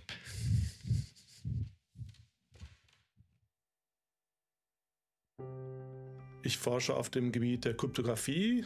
Das ist die Wissenschaft der sicheren digitalen Kommunikation in der Anwesenheit von böswilligen Parteien. Mit Kryptographie kommen wir in unserer vernetzten Gesellschaft eigentlich überall in Berührung, ähm, obwohl wir es im Idealfall gar nicht merken. Wenn wir zum Beispiel eine sichere Verbindung zu unserem Lieblings-Shopping-Server aufbauen oder wenn wir eine Instant Messenger-Nachricht verschicken, die auch verschlüsselt wird. In all diesen Anwendungen steckt Kryptographie. Eine Standardanwendung in der Kryptographie ist die Verschlüsselung von Nachrichten. Bei der Verschlüsselung versuchen wir über mathematische Operationen die Nachricht so in einen Geheimcode umzuwandeln, dass nur der legitime Nutzer sie wieder entschlüsseln kann. Aktuell arbeiten wir an einer neuen Generation von kryptografischen Verfahren, die sicher sein sollen gegen Quantencomputer und dabei auch noch möglich effizient sein sollen. Im Gegensatz zu klassischen Computern, also meinem Laptop oder meinem Smartphone, basieren Quantencomputer auf den Prinzipien der Quantenmechanik und sind deshalb in der Lage, alle gängigen Verschlüsselungsverfahren zu brechen. In meiner Forschung arbeite ich deswegen an einer neuartigen Kryptographie, die auch von Quantencomputern nicht geknackt werden kann. Die Grundlage dazu liefert die Mathematik, genauer gesagt die Geometrie. Und konkret arbeiten wir an hochdimensionalen mathematischen Gittern und versuchen mit Hilfe von diesen mathematischen Gittern neue kryptografische Verfahren zu entwerfen.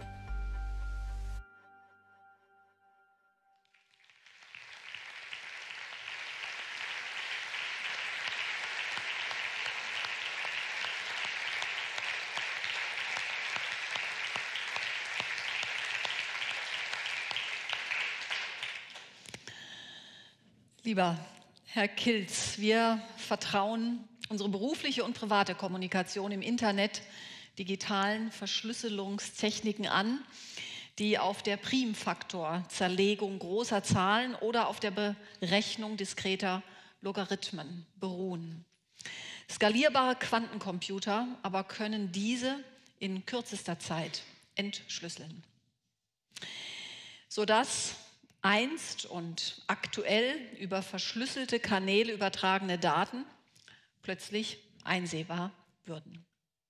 Eike Kilz hat mit seiner bahnbrechenden Forschung den Weg zu innovativen, quantensicheren Verschlüsselungsverfahren geebnet und neue Standards auf dem Gebiet einer Postquantenkryptographie gesetzt. Er leistet Pionierarbeit bei der Entwicklung effizienter Public Key Kryptographieverfahren und der Beweisführung ihrer Angriffssicherheit. Mit der Entwicklung eines neuartigen Verschlüsselungssystems, dessen Sicherheitsniveau nachweislich äquivalent zum Faktorisierungsproblem ist, löste er bereits früh in seiner Karriere ein über 20 Jahre bestehendes Forschungsproblem der Kryptographie. Als Koryphäe seines Fachs etablierte er sich schließlich mit seiner wegweisenden Entwicklung gitterbasierter Algorithmen als Grundlage quantensicherer Kryptographiesysteme. Zudem entwickelte er innovative Techniken zur Schlüsseldelegation für Gitter, die kryptografischen Protokollen eine vielfältigere Funktionalität ermöglichen. Seine Ergebnisse bilden heute den Kern zahlreicher zeitgemäßer quantenresistenter Verschlüsselungsmethoden und ein von ihm entwickelter Beweis dient weltweit als Basis für den Sicherheitsnachweis neu entwickelter kryptografischer Verfahren. Eike Kilz verwebt nicht nur Theorie und Praxis auf virtuose Weise, sondern prägt auch die laufende internationale Standardisierung. Zusammen mit seinem Team hat er maßgeblich an der Entwicklung zweier hocheffizienter gitterbasierter kryptografischer Verfahren mitgewirkt, eines für die Verschlüsselung und eines für die Authentifizierung. Beide Algorithmen wurden jüngst zum neuen internationalen Standards quantensicherer Kryptographie erhoben, der die künftige digitale Sicherheit unserer Gesellschaft wesentlich prägen wird. Lieber Herr Kilz, Ihre Forschung erschließt Mittel und Wege, wie wir unser digitales Handeln auch im Zeitalter der Quantencomputer sicher gestalten können. Ich freue mich außerordentlich, Ihnen für Ihre herausragenden Leistungen den Leibniz-Preis zu überreichen. Herzlichen Glückwunsch.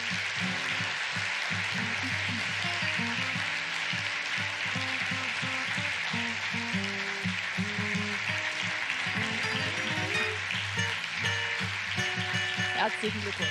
Super. Freue mich sehr. So, wir nehmen da ein bisschen in die Hand. Mit nach vorne. Genau.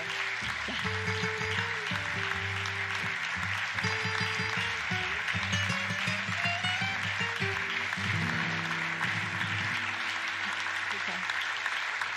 Toll, ich freue mich sehr für Sie. Klasse Forschung.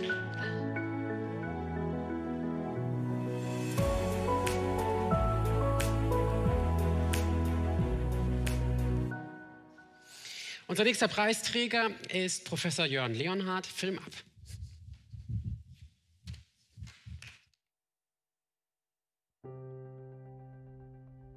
Ich versuche zu verstehen, wie Menschen im langen 19. Jahrhundert und im frühen 20. Jahrhundert mit politischen Krisen, Integrationsproblemen, der Krise von Demokratie und Kapitalismus zurechtgekommen sind und wie sie vor allen Dingen mit Kriegserfahrungen umgegangen sind.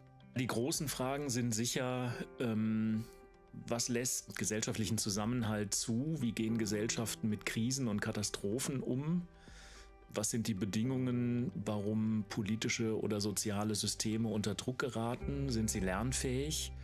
Und vielleicht mit der Frage verbunden, ob es Dinge gibt, die sich in der Geschichte wiederholen, im Sinne von Wiederholungsstrukturen, zum Beispiel Verschwörungstheorien, ähm, Vorstellungen von Aufstieg und Abstieg. Am meisten fasziniert mich, wie tief ich in Quellen eindringe, wie tief ich mich mit der Lebenswelt, den Erwartungen, den Erfahrungen von Menschen aus anderen Epochen beschäftigen kann.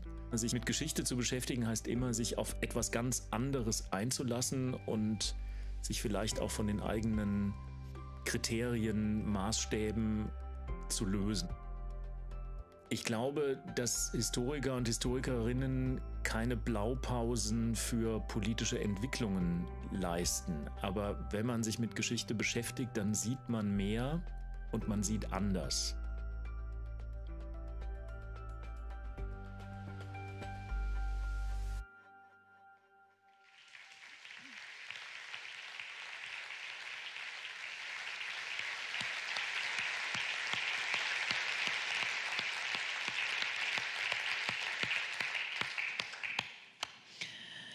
Lieber Herr Leonhard, das Leben einer anderen Zeit in seiner komplex verwobenen Vielfalt klar und lebendig darzustellen, ist eine besondere Kunst. Jörn Leonhard hat diese in seinen wegweisenden Arbeiten vielfach meisterlich unter Beweis gestellt.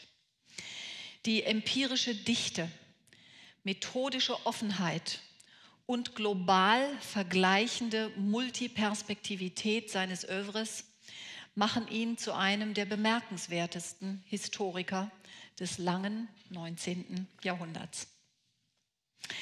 Seine Sensibilität für Semantiken bildet die Grundlage seines Schaffens.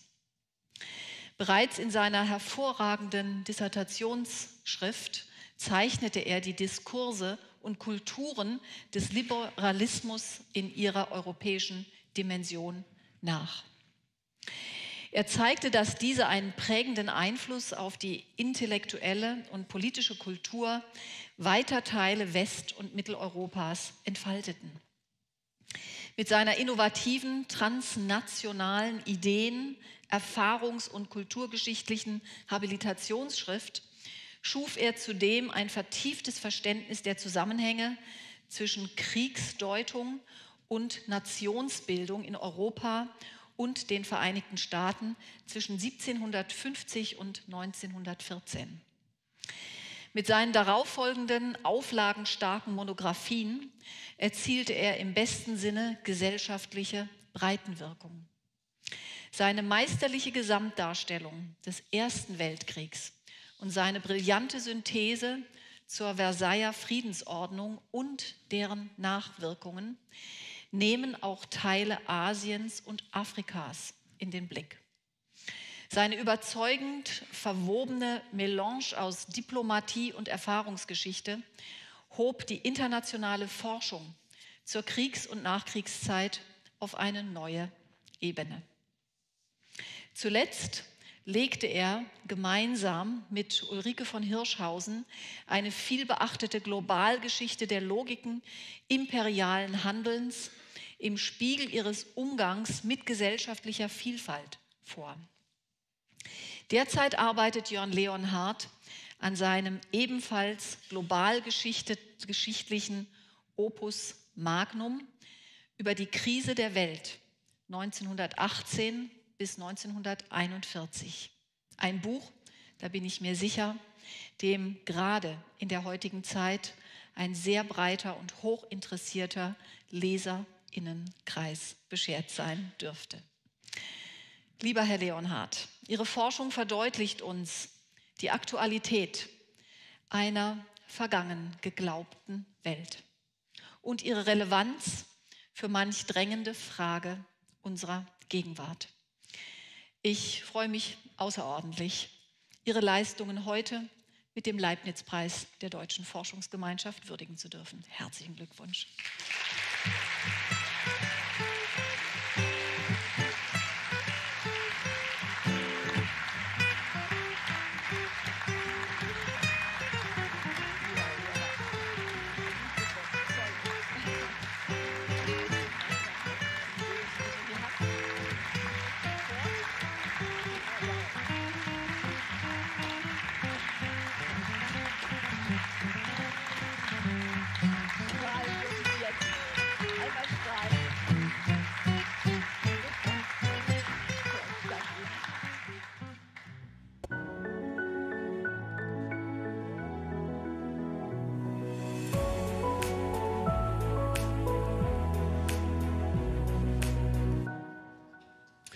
musste am längsten warten, ist Professor Peter Schreiner. Film ab.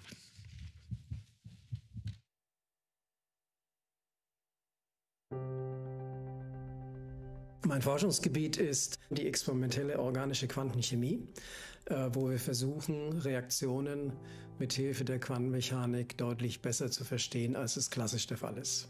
Wir versuchen im Grunde das Getriebe der Welt zu verstehen, also wie die einzelnen Zahnrädchen ineinander greifen. Und diese Zahnrädchen sind dann für uns Moleküle, die wir tatsächlich sehen können, wie mechanische Teile. Und wir wollen diesen Schritt machen von der Mechanik weg zur Quantenmechanik. Das heißt, diese Moleküle als Objekte sehen, die Eigenschaften haben, die man in der klassischen Welt nicht findet. Und mit dem Herausfinden dieser Eigenschaften möchten wir bessere äh, Produkte herstellen, also Moleküle, die eine Anwendung haben, sei es jetzt im medizinischen Bereich oder als neue Materialien. Letztlich sind wir als Lebewesen große Chemiewerkstätten wir verbrauchen Energie konstant. Wir haben also eine innere Verbrennung, die die Energie zur Verfügung stellt, damit wir uns bewegen können und denken können und so weiter. Und natürlich möchten wir wissen, wie das alles zusammenspielt. Wir sind nun auf dem einen Ende, dass wir sehen wollen, welche kleinen Moleküle sind dafür notwendig. Einstein hat mal gesagt, äh, wenn ich Wissenschaft betreibe, weiß ich nicht genau, was ich tue. Ja, so ist es ein bisschen bei uns auch. Wir haben einen Plan, ob der aufgeht. In den meisten Fällen geht er nicht so gut auf, aber ähm, es passieren oft unerwartete Dinge und auf die muss man reagieren. Das, das ist eigentlich die wirkliche Kunst, das, das Neue zu erkennen, wenn es vor einem liegt. Und dann sind die Momente echte Heureka-Momente. Diese Einsicht zu sehen, was ist denn wirklich passiert, die ist fantastisch.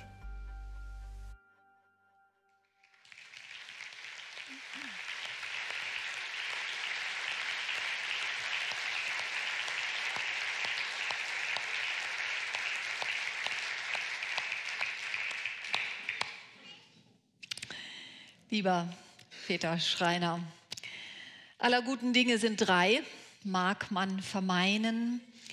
Die Kontrolle chemischer Reaktionen aber schien lange Zeit vor allem zwei Parametern zu folgen, der Thermodynamik und der Kinetik.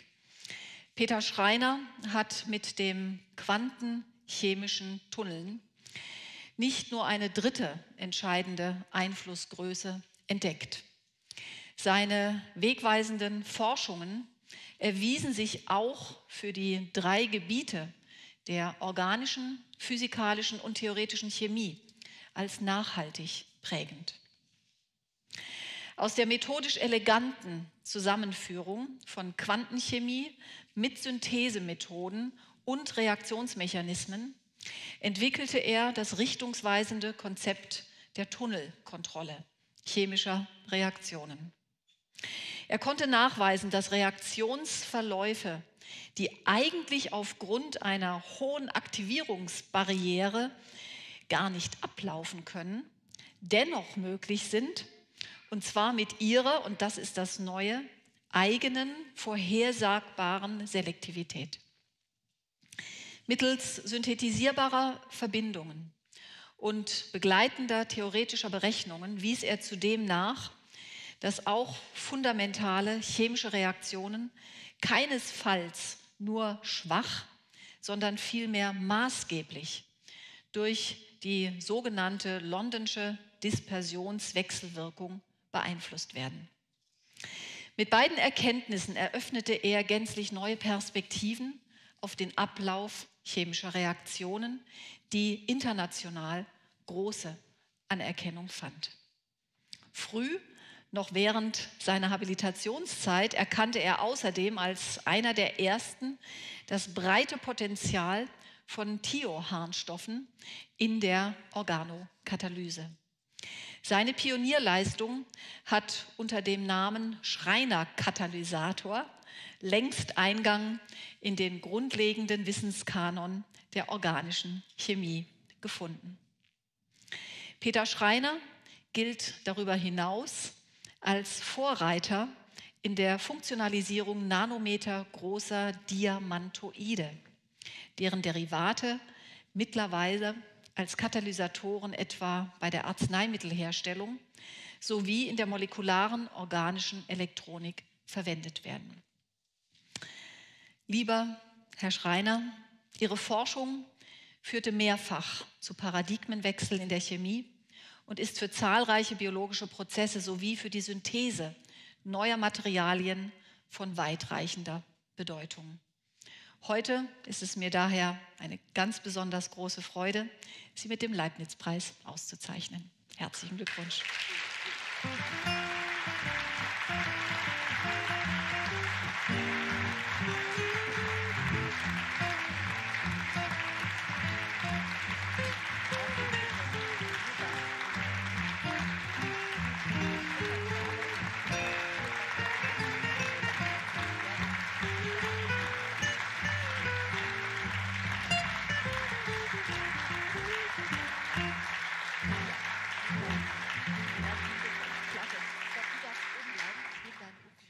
Schreiner, bleiben Sie bei uns und ähm, wir brauchen auch alle Preisträgerinnen und Preisträger der zweiten Halbzeit. Das gebe ich Ihnen schon mal.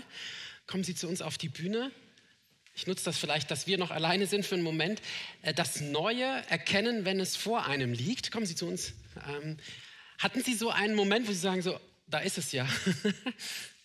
Schön wäre es, wenn es so leicht wäre. Ja. Man muss schon lange drüber nachdenken, aber irgendwann dämmert es dann, dass das etwas ist, was noch keiner recht äh, erkannt hat oder keine recht erkannt hat. Weil äh, so eine Barriere, die wird ja dann nicht überwunden, einfach aus sich selbst heraus. Dann muss man ja wahrscheinlich schon anders drauf gucken, um das zu verstehen. Genau, also wir waren erstmal verdutzt und haben nach Fehlern gesucht. Ah. Und die Fehlersuche hat letztlich ergeben, es ist kein Fehler, es ist, wie es ist. Und können wir es verstehen? Und das war der richtige Heureka-Augenblick, wo man gemerkt hat, da ist das Neue. Schön, nach einem Fehler suchen und keinen finden. äh, kennt das jemand von Ihnen auch? Es liegt etwas Neues vor einem, was man erstmal als das erkennen muss? Ja? Ja, auf jeden Fall. Also, Bei Ihnen? Ja, das was passiert äh, im Idealfall immer dann, wenn Doktoranden ins Zimmer kommen und die Daten zeigen und dann denkt man, cool, was, was, wie das wieder zusammenpasst. Dann kommt meistens der traurige Weg, dass es meistens nicht ganz so einfach ist, wie man es in dem Moment gesehen hat, aber irgendwie passt es dann doch.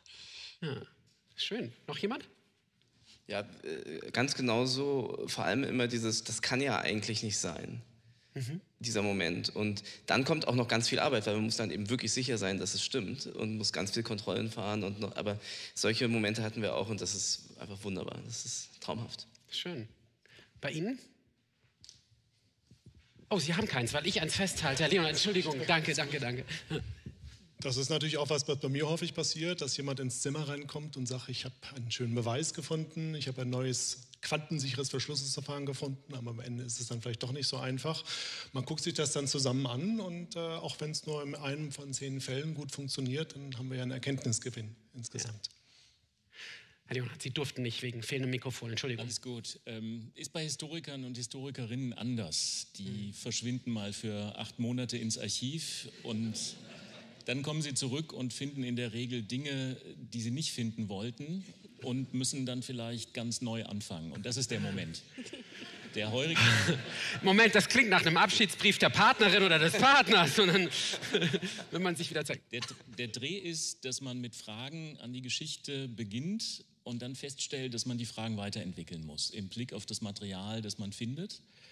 Und ich sage immer, dass die Exposés am Anfang, am Schluss so eine Art Totenmaske des Projekts sind, weil sich so viel verändert hat. Mhm. Und wenn das nicht passiert, werde ich bei Dissertationen und Habilitationen eher skeptisch, aber in aller Regel passiert ganz viel dazwischen.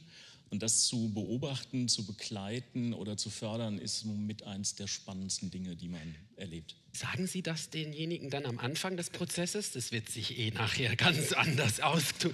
Oder das versuche ich, aber ja. da gibt es einen Peer-Effekt, der viel glaubwürdiger ist. Ah. Wenn man ein Team hat, dann sind die untereinander im Gespräch und das ist viel glaubwürdiger, wenn Docs oder Postdocs im zweiten oder dritten oder vierten Jahr sagen, bleib mal ruhig, das verändert sich sowieso nochmal, geh mal ins Archiv und zwei Jahre später gucken wir dann weiter. Schön. Herr Kilz, ich musste vorhin so ein bisschen schmunzeln. Es gab so ein Raunen im Raum, als man Ihr Whiteboard, Ihre Tafel im, im Büro gesehen hat. Ähm, Sie sind Kryptologe. Können Sie da selber noch lesen, was da steht? Also ich muss fairerweise sagen, das ist das Whiteboard von einem von meinen Doktoranden. Ah, gut. Ja. Mein Whiteboard hat man auch irgendwann zwischendurch gesehen. Das sieht ein bisschen aufgeräumter auf, ne, weil ich das immer ganz gerne auch mal wische ne, mhm. und äh, neue Sachen draufschreibe. Aber ähm, ein bisschen Chaos ist, glaube ich, auch ganz gut in, in meiner Forschung. Ne? Dass man ein bisschen da mal guckt und da mal guckt und dann versucht, Zusammenhänge zu finden. Und am Ende klappt es dann vielleicht auch mal. Bin kein Experte, aber ähm, noch entschlüsseln ja nicht so viele Quantencomputer unsere Passwörter. Insofern ist das, was sie machen, etwas ähm, in, der Vorher, in, der, in der Vorausschau. Ähm, und eigentlich ist es ja so, there is no glory in prevention. Wäre Ihre Forschung nicht dann sehr viel wertvoller, wenn schon ganz schlimme Dinge passiert wären mit dem Entschlüsseln von Passwörtern? Ja, Sie müssen sich ja vorstellen, dass ähm, insbesondere Geheimdienste haben, ja möglich, äh, haben so viele Möglichkeiten, jetzt Daten zu sammeln. Im Prinzip muss man sich immer darüber im Klaren sein, dass alles, was über das Internet geschickt wird, wird wahrscheinlich irgendwo gespeichert werden. Und wollen wir denn, dass vielleicht unsere, äh, unsere geheimen Nachrichten, die wir jetzt über das Internet verschicken oder wo auch immer verschicken, dass die in zehn Jahren verschlüsselt werden? Das wollen wir auch nicht haben. Ne? Das heißt, wir wollen vorbereitet sein auf den Super-GAU, dass vielleicht mal skalierbare Quantencomputer kommen. Und äh, jetzt brauchen wir das schon, ne, weil wir natürlich nicht wollen, dass unsere Daten jetzt gesammelt werden und dann vielleicht auch in zehn Jahren gelesen werden. Hm. Das ist ein interessanter Gedanke, ne? dass das, was wir alles schon geschickt haben und noch sicher ist, zu einem anderen Zeitpunkt auf einmal nicht mehr sicher ist. Und wir haben jetzt gar nichts mehr in der Hand, als möglichst komplizierte oder schwierige Kryptographie uns anzueignen. Ähm, ja, ich habe ja vorhin bei der Runde gesagt, will noch jemand jemandem was sagen, aber ich hätte auch noch ganz viele Fragen. Ich weiß nicht, ob jemand Lust hat. Ich habe ähm, zum Beispiel, Frau Herzschuh, ich habe das bei Ihnen gesehen, dass Sie naja, auf so vielen unterschiedlichen Kontinenten unterwegs sind. Ja? Ähm, äh, wird das Geld, was Sie jetzt bekommen, vielleicht die ein oder andere Forschungsreise ermöglichen? Auch, auch das, aber ja. es ist schon verplant und es reicht noch nicht mal. Ah! Okay. Nein, aber äh, äh, im Ernst, ich, was mich vorhin begeistert hat, von mir sind ganz viele Leute da, die mich in meinem Leben unterstützt haben. Und ähm, die Forschungsreisen erinnern mich manchmal auch einfach daran, was ich in der Zeit alles nicht getan habe. Das haben die Leute, die hier alle sitzen, mein Mann, mein, meine Chefin, mein, meine Doktoranden, alle die mussten damit umgehen. Und vielen Dank, dass ihr das immer ausgehalten habt und mich unter, trotzdem weiter unterstützt habt, obwohl ich oft das nicht gemacht habe, was ich in der Zeit hätte auch machen sollen. ja, vielen Dank. Aber es interessiert uns jetzt schon. Ja.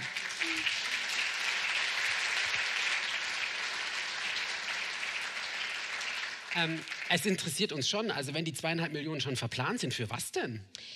Ja, also ähm, wir, wir, forschen ja an äh, alten, also an Organismen, die in den Sedimenten äh, ihre Spuren hinterlassen haben. Und mittlerweile wissen wir ganz gut, wer da war, aber wir wissen noch nicht so ganz gut, wie die miteinander gewirkt haben. Und dafür muss man eher nicht das Genom, sondern eher die Proteine untersuchen. Und das ist die Idee. Und da braucht es noch eine Million. Wo, wo, war die Chefin? Nein, habe ich hier gehört. Ah, die Ministerin, meine Landesministerin ist auch da. Entschuldigung. Naja, wir hatten ja das Thema schon, dass wir was draufsatteln bei der DFG. Vielleicht können wir dann die Preissumme irgendwann erhöhen. Ähm, das ist in der Geschichte des Preises auch regelmäßig passiert. Ja? Nächstes Jahr 40 Jahre Leibniz-Preis. Es ist nur eine Inspiration, die ich gebe. Ich bin der Kinderfernsehmoderator. Es ist, ähm, es ist so schön, Ihre glücklichen Gesichter zu sehen. Gibt es ähm, jemanden unter Ihnen, der noch gar keine Ahnung hat, was mit dem Geld passiert? Das beruhigt aber auch. Okay. Und für die anderen reicht es aber im ersten halben Jahr. Gut. Super. Ja, dann vielleicht, Herr Schreiner, zum Abschluss.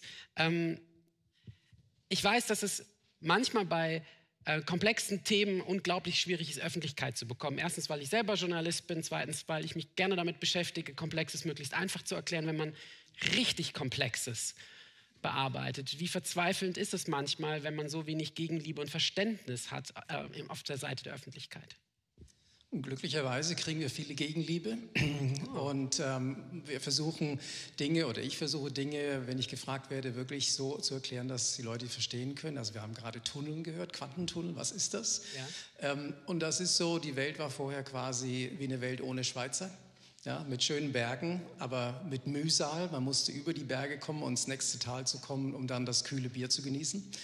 Und dann kamen die Schweizer oder im Sinne der Molekülmechanik äh, konnten wir sehen, dass es auch den Effekt des Tunnels gibt, durch den Berg hindurch, wo man in das nette Tal viel schneller kommt, mit wenig Anstrengung und schnell beim kühlen Bier ist. Das ist eine tolle Metapher. Vielen Dank. In diesem Sinne wünsche ich Ihnen viele Gotthardtunnels. Herzlichen Glückwunsch zum Leibniz-Preis 2024.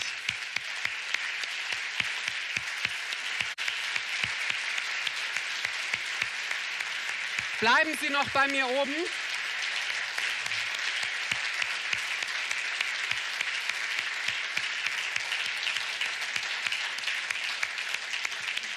Ich möchte den Kindern anbieten, ihr habt so gut durchgehalten. Wenn ihr Lust habt, machen wir noch ein Foto mit Papa zusammen, ja?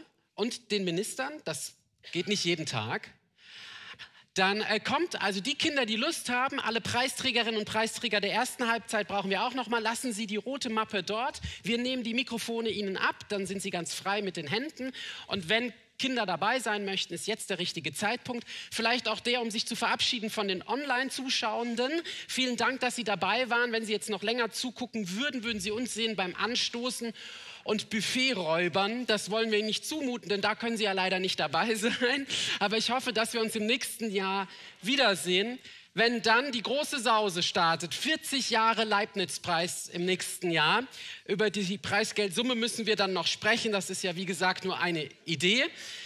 Wir geben Ihnen gerne noch ein paar kleine Beeren mit, aber jetzt an zu Hause erstmal auf Wiedersehen. Schön, dass Sie dabei waren. Und für uns, wenn Kinder Lust haben, Mama, Papa zu unterstützen, dann machen wir ein Foto mit allen zusammen. Vielleicht ein Bär vom Minister, das sieht sehr gut aus.